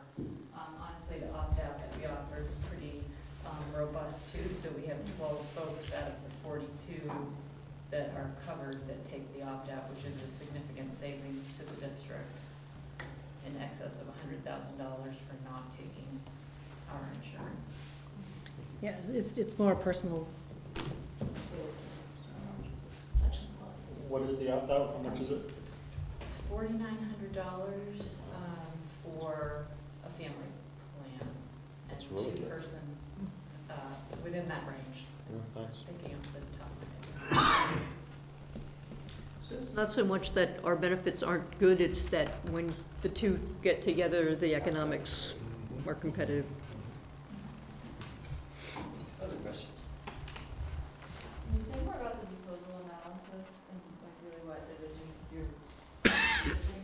Yeah, so also a, a, uh, uh, great conversation at the Finance Committee and, and, um, please Michelle or or Alan, feel free to, to jump in. Um, and we struggle with, um, really getting a handle on, um, why our pounds per capita is, seems to be creeping up versus going down. We spend a lot of time and effort on education. Um, we, you know, we track demographics, we track weather, we track um, trends, we track, um, you know, the unemployment rate has a reason, but we're, we're wondering, is there something else that we're not missing? And we want to be able to better model going forward as far as um, expectations so that we can know, well, what is a reasonable pounds per cap? Um, So, I don't know, are probably other factors that you were concerned with. Um, I- I- This really bothered me, that we, we were seeing the, the pounds per capita and the disposal into the landfill going up in spite of all of our efforts and our increase in diversion.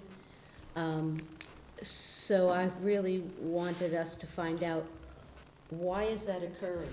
Um, Because if we don't know what's, where this stuff is coming from, or what's driving it, we don't know where to focus our efforts and our attention. For example, um, between seven in the morning and six at night, the population of Chittenden County increases by forty percent.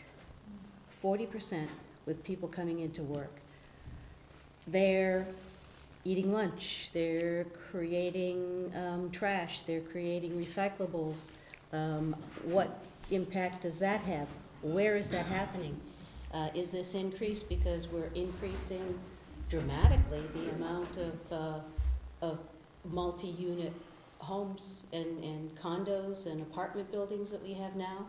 Um, Is it because we're booming uh, industrial?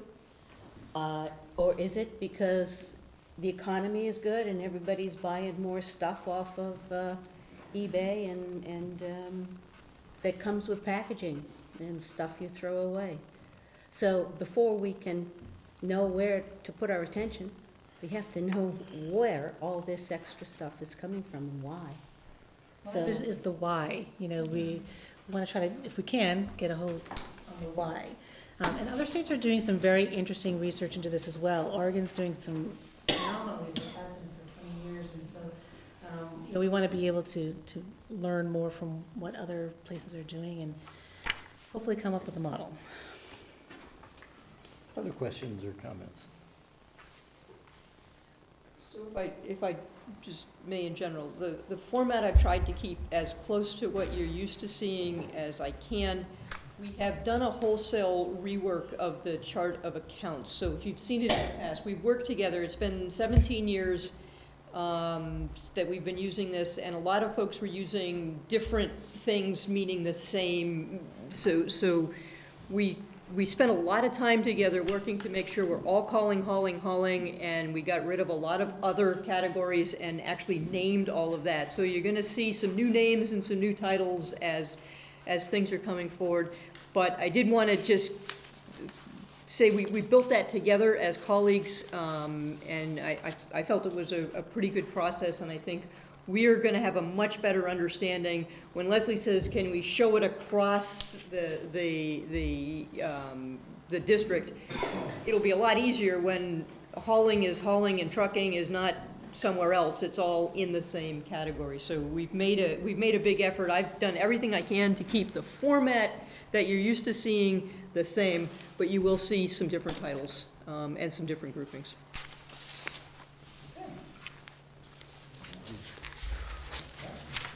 Okay.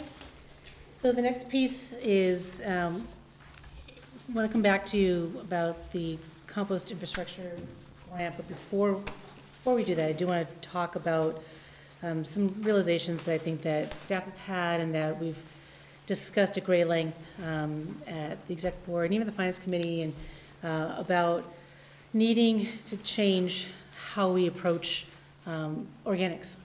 And for a long time, what the focus has been on making compost. And, uh, and we've been doing a, a lot of work and we're doing some really great work on that. And uh, with Act 148, um, the pressures keep increasing. And the more we looked at, you know, what are we going to do? We've been talking about this, what are we going to do for about 18 months or so. It seems almost like from the minute I got here, uh, we've been trying to figure out what are we going to do July 1, 2020.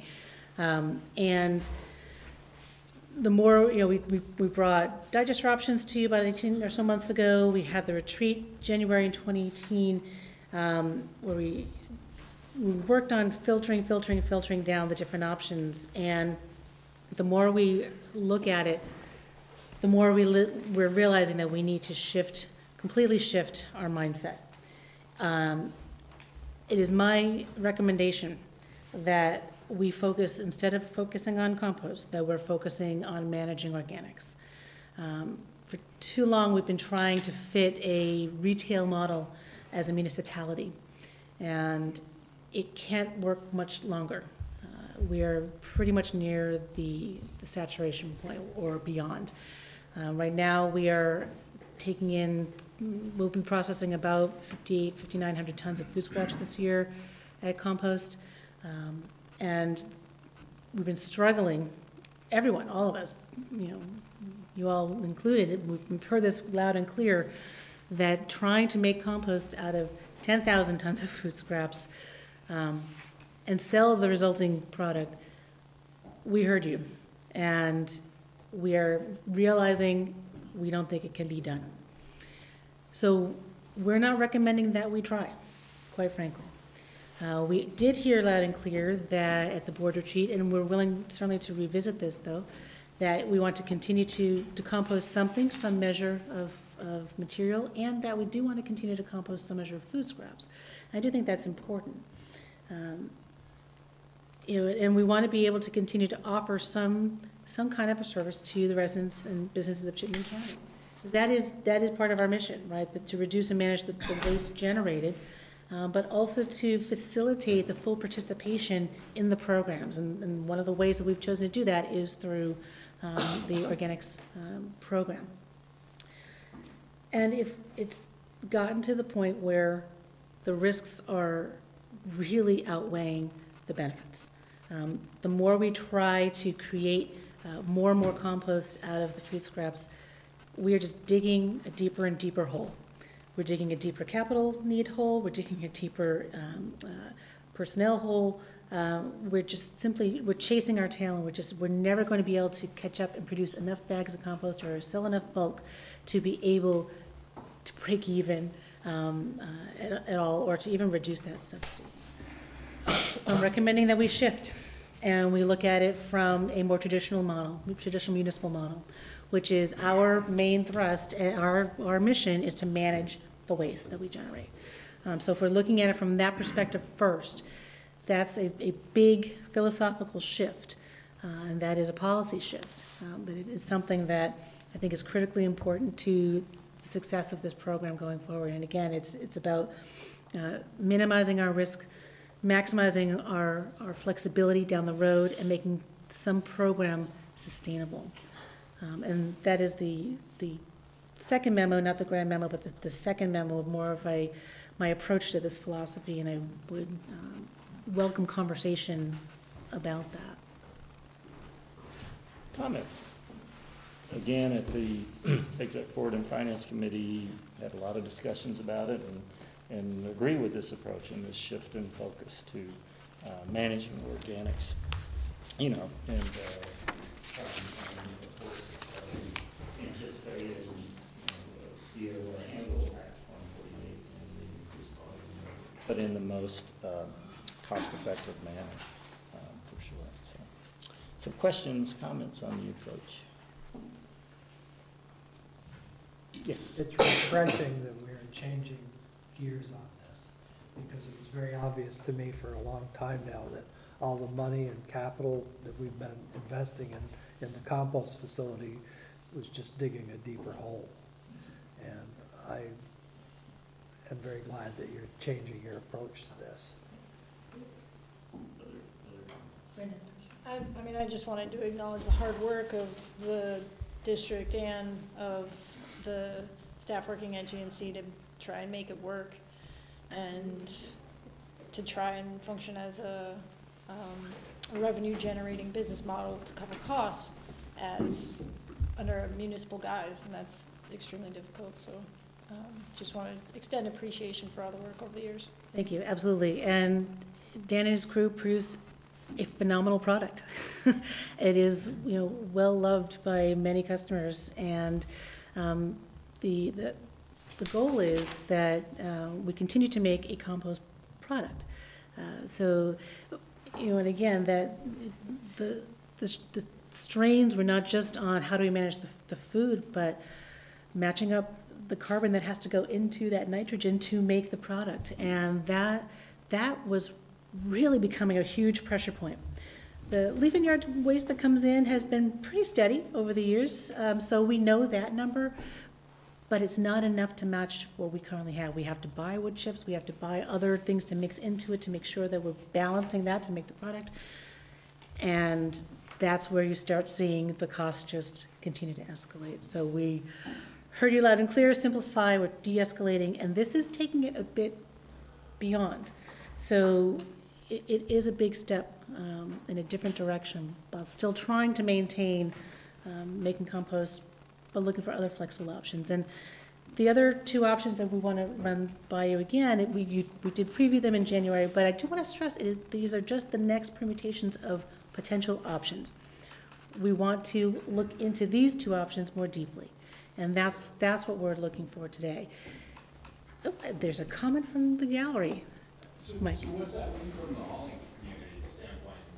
What's the, what's the board's perspective gonna be with the new law coming out too, from a legislative standpoint, just going, I'm still required to pick up organics material, and should, should we be looking at diverting that to other areas, or, I mean, I think that's the question that's gonna come out from a lot of the hauling community is, n- now what do, what do we do? So stay tuned. So that, I, I think hopefully when we go through the rest of the presentation, some of that may be answered.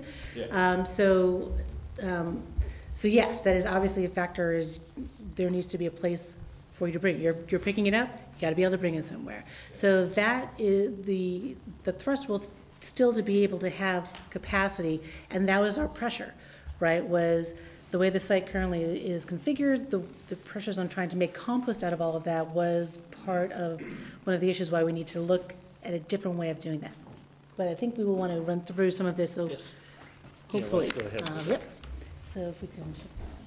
So again, this is just, talking about, running through what we're looking at. I've talked a little bit about the shift. I'm talking about the need for some change.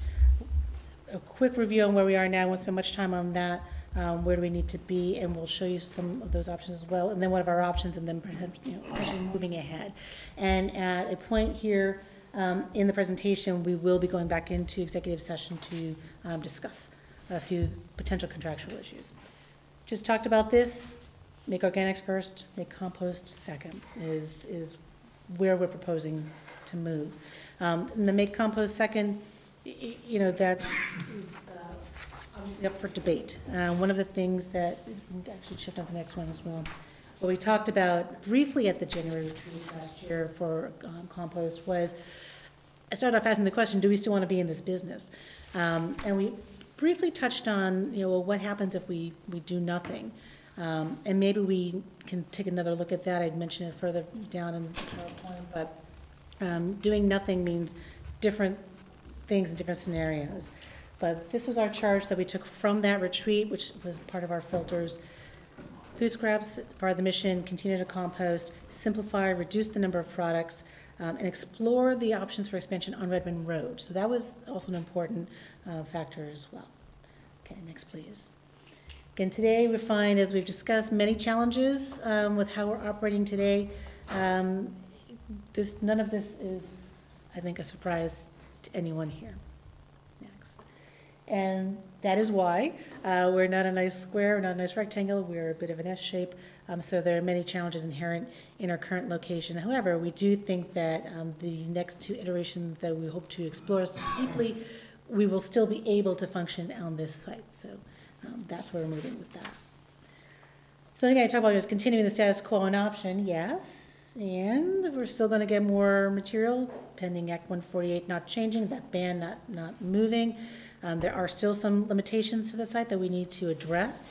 Um, you know, again, the capacity issues will continue to grow unless we do something, and if we continue the same way that we are, there's no way that we'll be able to, um, to find, I think, markets that will bring us to uh, equilibrium. So in January, we talked about the uh, organics uh, infrastructure grant from ANR.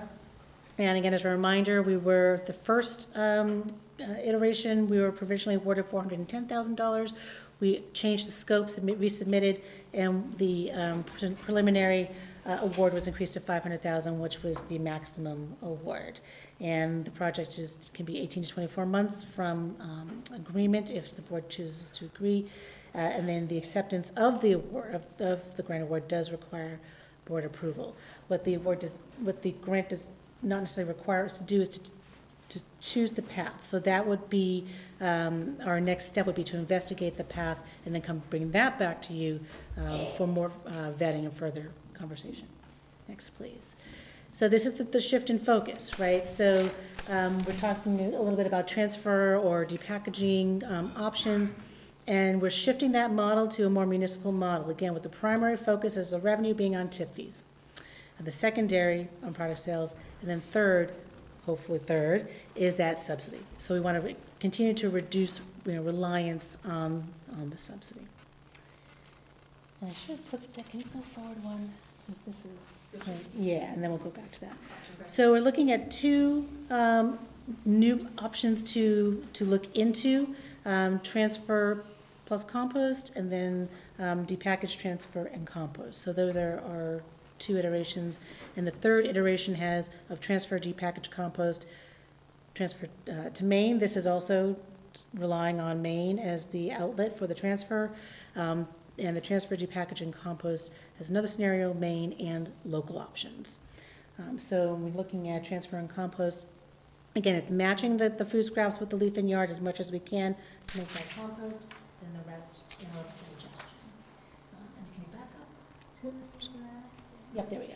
So that would show you essentially where, uh, again, not much that would need to be done at all if we're looking at a transfer bay. We would use the, the uh, bays that we were making our organic material in, so we would do that.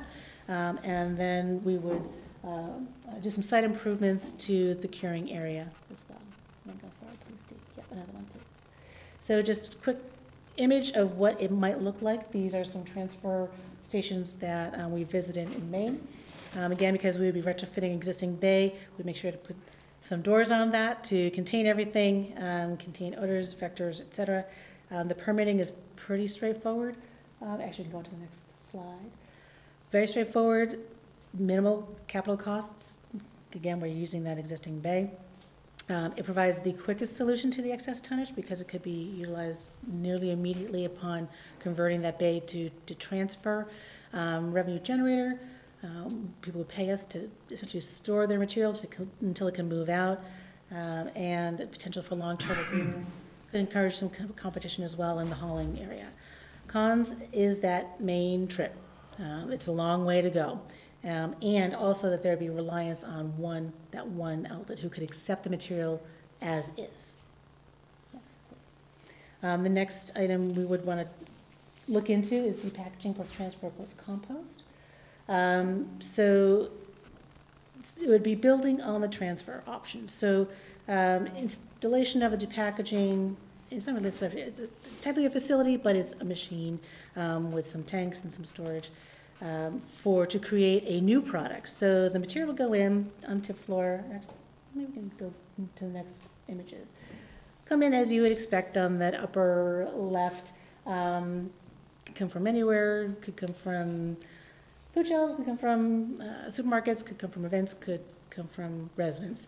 Um, The equipment, would- it would be fed into the equipment, it would separate it from its package, and it would then, so the packaging would go in one direction, the organics would go in the other direction, macerate it up, and then become a slurry. And then that would be put into a tank for storage until someone would come by and take the material out, and then, in a tanker truck, obviously, and bring it to a digester.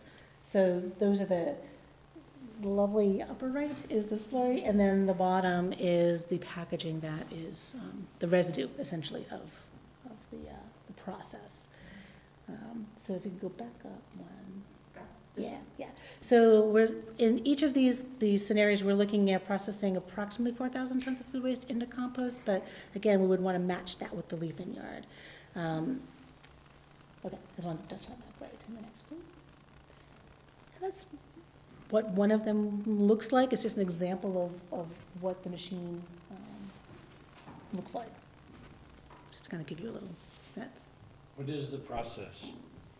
Is it a squishing, squeeze, It's more of a separate? tear, it's a, it's a tearing. Dan, did you see it in op, in actual operation? Yeah, there's a couple of, there's about a dozen manufacturers of these machines, they work a couple different ways, but the ones we've looked at most closely so far involve screw augers that press material out through screens. So it's a, s- it is kind of smush and there's some tearing and it goes through holes. Sounds pleasant. But they work remarkably well, and some, some better than others certainly, but it's amazing how, they, they can take tin cans of tomatoes, separate out red tomato sauce and nearly clean tin cans, steel cans. And Limited personnel interface? Very, very easy to operate, yeah, one person with a tiny loader, um, yeah, it's very, yeah, they're smart. We'd be looking at about two people, maybe. What about frozen material? Some of them can handle frozen material, some do not. So in those instances, obviously, there's a lot of grocery uh, materials that come out that are expired that need to be handled. Um, Some of them you can drop them right in, box and all. Uh, Others, you might let them sit overnight and then drop them in. What happens with the packaging?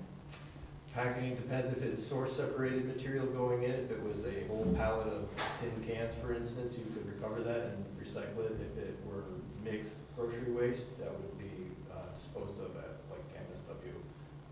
which is how most of it's being disposed of now with the organics included. right. I do have a question regarding the transfer option and using one of the bays. Um, How confident are you that you can control that? That's where the door comes in. So. So you'll enclose the bay? Correct. And that's what you do, okay. Correct. All right, Mhm. okay, good. That'll be important to Williston for sure. Oh, yeah. Absolutely. So, you know, again, some Does of. that, oh, yes, um, uh, just a question, does that create an occupational hazard of too much ammonia in the air? I think. Go ahead, Dan. If you contain it with a door, there would have to be, a- you'd have to put on a uh, A vent. biofilter to handle that odor and have a negative aeration system probably.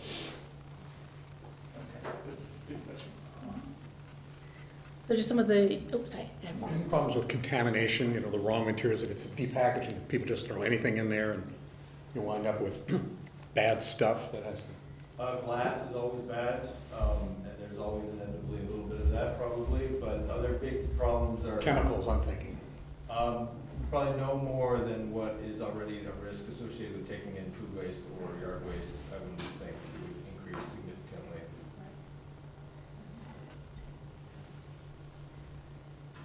Some initial pros and cons that, that we've identified, um, the, the depackaging, there is not one in Vermont, and there's, there's not one, um, I think the closest one, there's one, there's a few in Massachusetts, and there's one in Maine.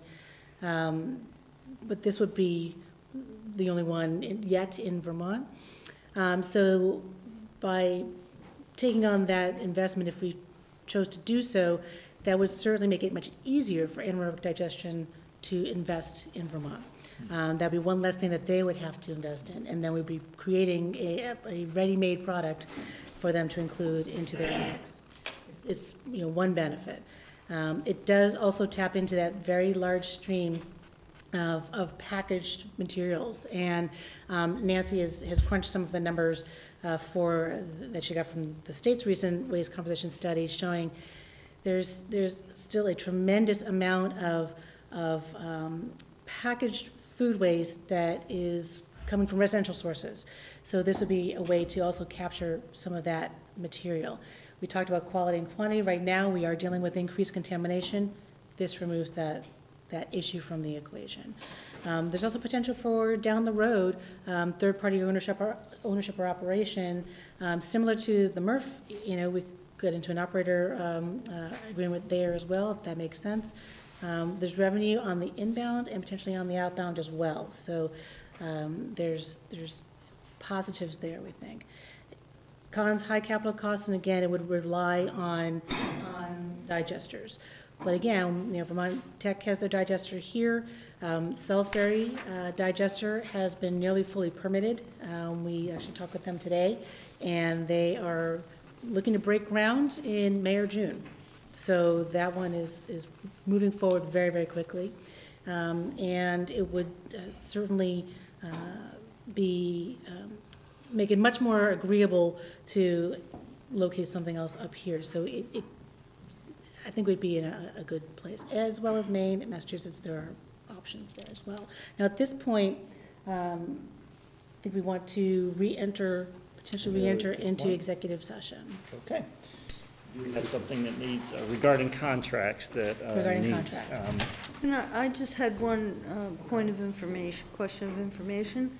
How do um, supermarkets now dispose of their excess, uh, you know, packaged goods? So materials that are, are suitable for donation are donated. And Hannaford has a phenomenal program uh, for food rescue. So a lot of that material that can go to the food shelves, the food pantries, is already going there. And um, when the organics um, um, uh, diversion requirements started to creep in, that skyrocketed. I mean, Bryn was a lead staffer on that uh, program at ANR. You can talk much better to that than, than I can. Um, But that, they saw a huge increase in food rescue.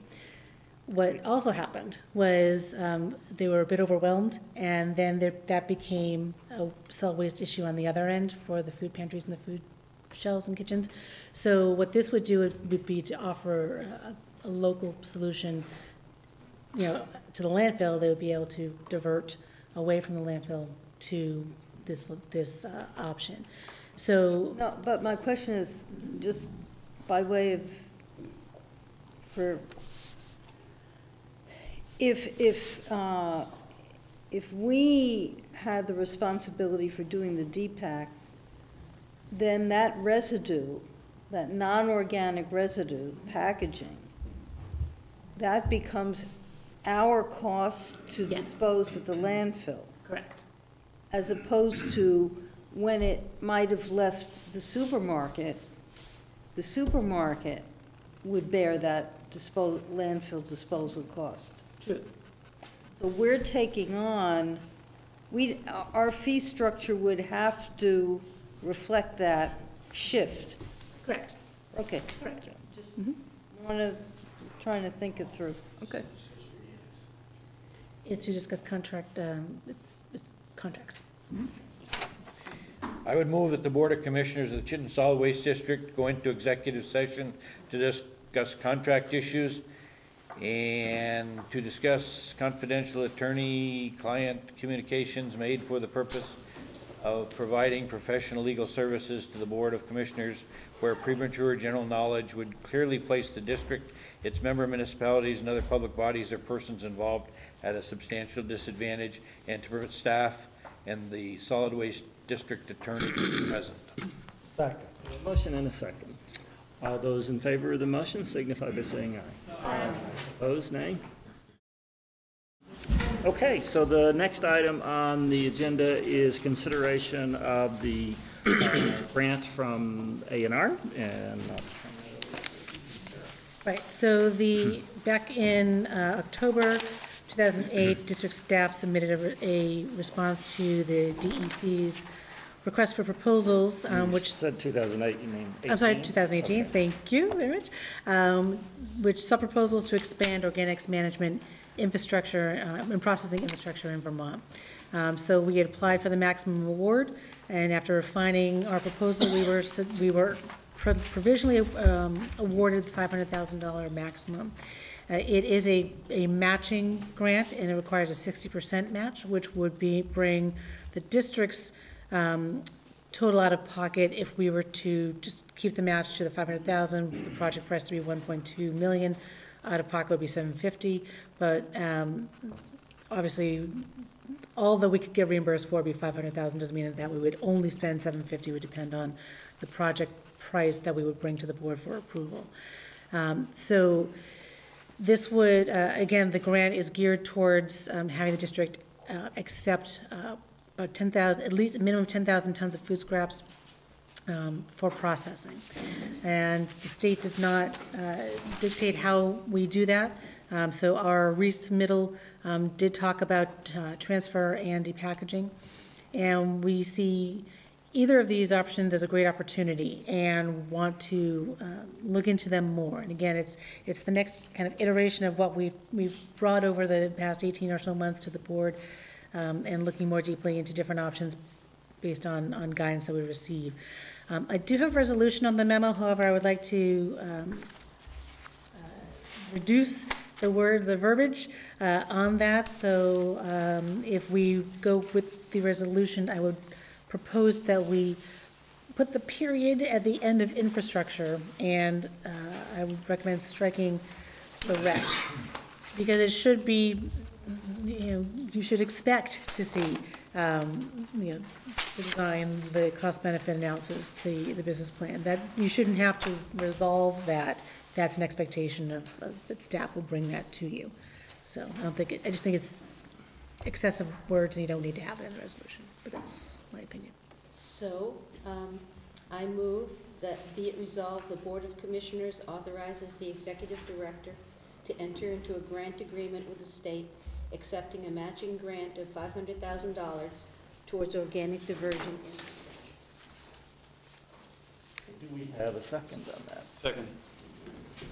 So again, I think it's very important to make it clear that, um, uh, and it's in here, but again, this would, in terms of the study and plan development, that's on us. Correct. Um, Do you have any idea of the cost of that at this point? I don't, I am putting fifty thousand into my budget, uh, my uh, administrative budget, uh, but I don't know that it would cost that much. I Don't think that it would. And then, in terms of the grant, it requires us to actually build infrastructure. And um, so it's uh, for building, and it would be a reimbursement, correct? Correct, that's right. So just wanted to make sure that was all clear to everyone. So, Right. Further discussion on that, on the motion, I should say. Tim? When does the infrastructure have to be completed? So they are hoping that it's completed within 18 months, however, there is leeway depending on construction schedules, knowing what that could be. So we could apply for um, extension of that, so within 24 months is reasonable. Okay? Other questions? Clarifying question, is it possible to apply grants to the match that CSWD needs to cover?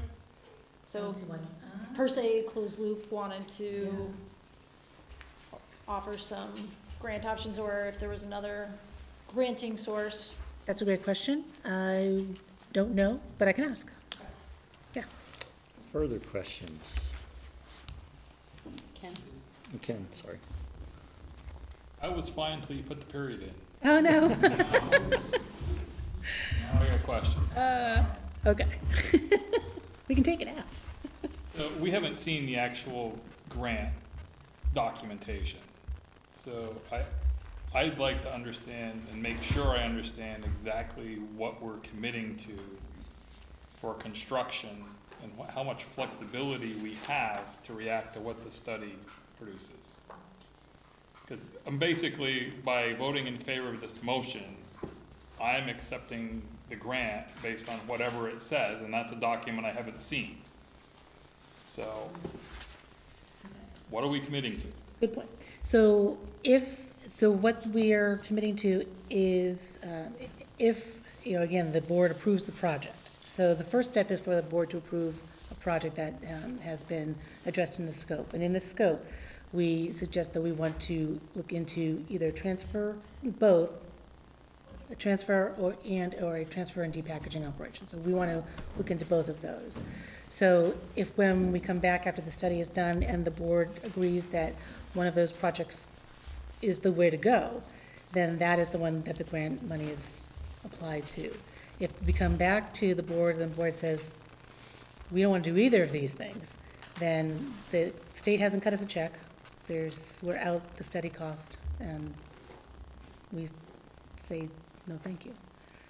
Can the application include both, both options? Correct. Correct. Paul has a question. Yeah, Paul? Conversely, what happens if we go through the study, we get all prepared due to do the construction, and then the legislature says, never mind, we're going to just gut the whole diversion requirement entirely? After, after we've built, or? Or, or, I guess the time frame is if, if we've got 18 months to build, probably, by then we're close to 2020, we would know that we can just stop and not build anything. True. Um, we also could, uh, just do the transfer option, you know, which, again, is much lower capital investment. It, it- it immediately alleviates the overcapacity issue, uh, as well. So with that one, we're, we're really not. uh, it doesn't not matter, whatever the state does, we're, the impact's not all that great. So the bill that's in, that's pending now, um, there is a bill about, uh, one forty-eight, it does not touch the ban at all. It addresses the hauling requirements, which is why Mike so was asking about that, um, but it doesn't doesn't touch the ban. Jen, may, do you have an update or, or further information on where they're Um, headed? I will just confirm what you said, and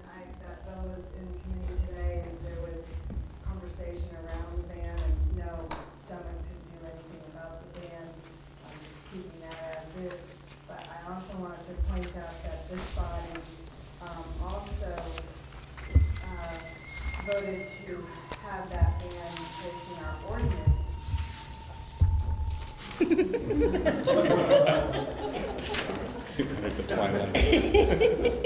the haunted lawyer. Sorry, go ahead. So, so talking about our ordinance. I mean, this, uh, of course, you have, you can easily, not easily, but you could choose to change your mind terms of that ordinance. But prior to Act 1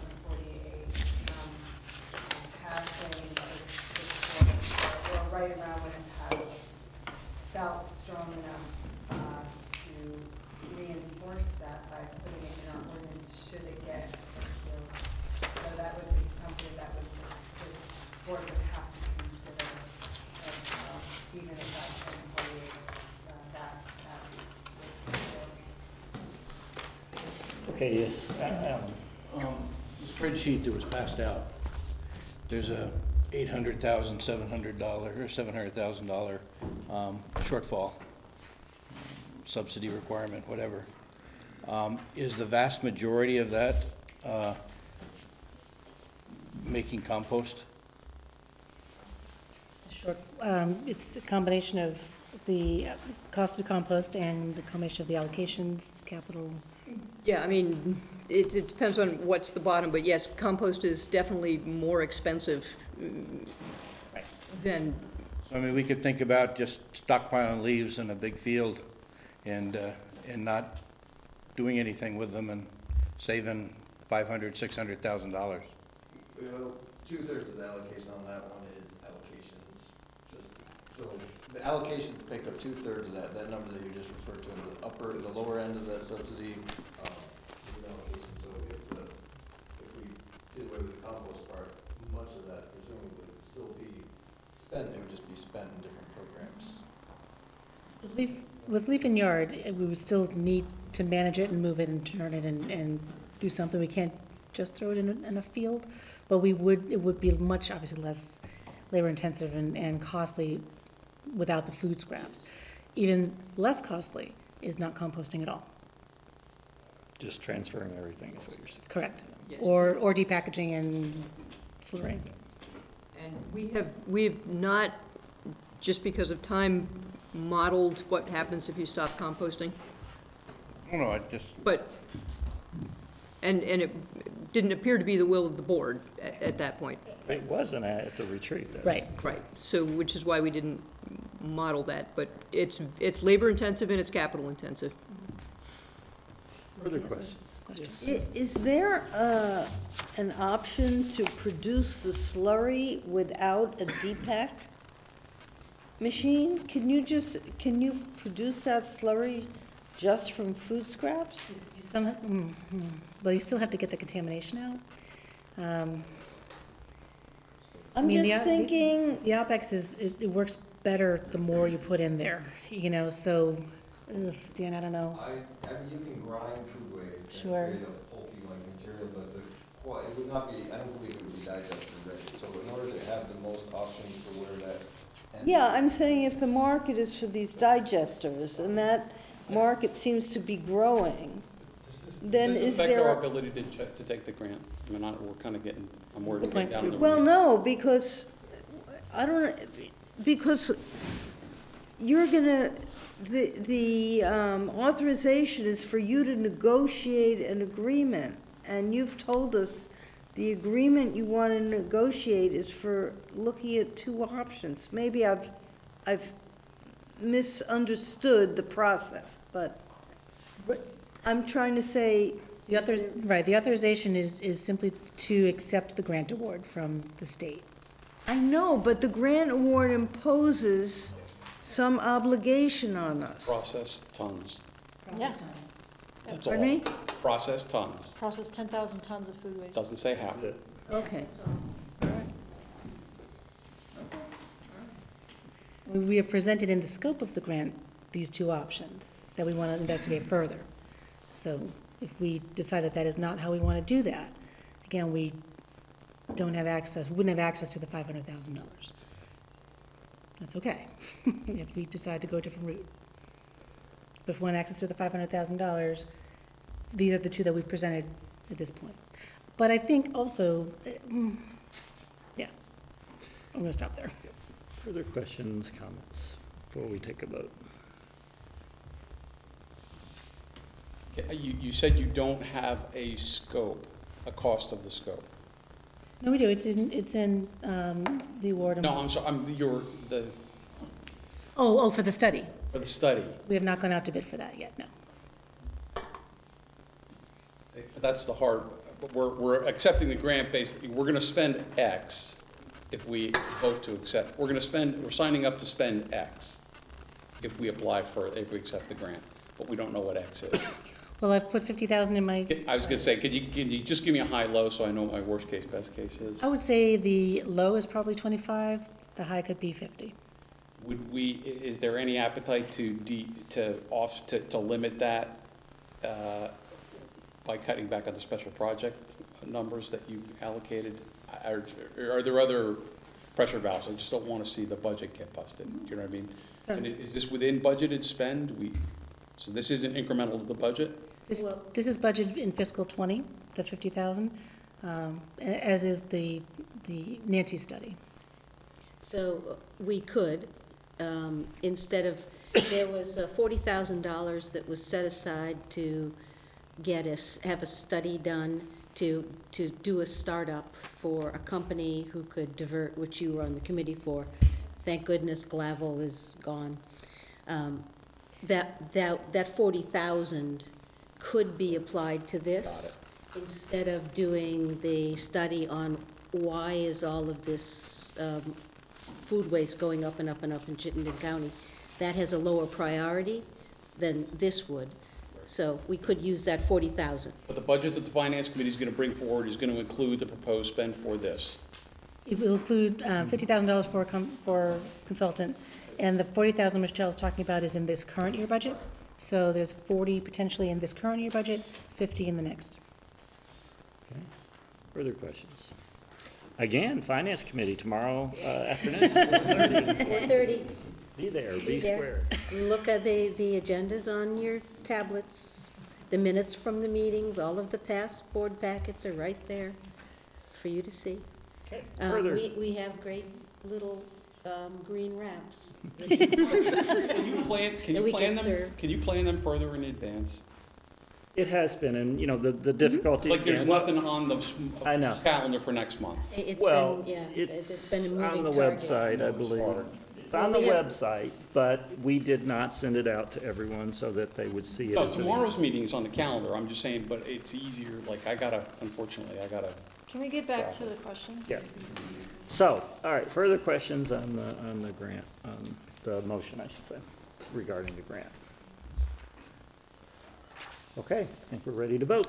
All those in favor of the motion signify by saying aye. Aye. Opposed, nay? Nay. Could, uh, make sure, was that just two? So And- and Essex, well, actually Essex, Essex Junction and uh, Hinesburg. Oh, was there anyone else? Okay, I believe the motion passes then, make sure. Okay, all right, uh, thank you. Um, next on Other the bus- agenda other is just. uh, Other- other business. Other business, anything under other business? And anything on program updates, any questions on the program updates? All right. Motion to adjourn. We have a motion to adjourn. Second, all those in favor? Aye. Opposed, nay. Thank you all very much.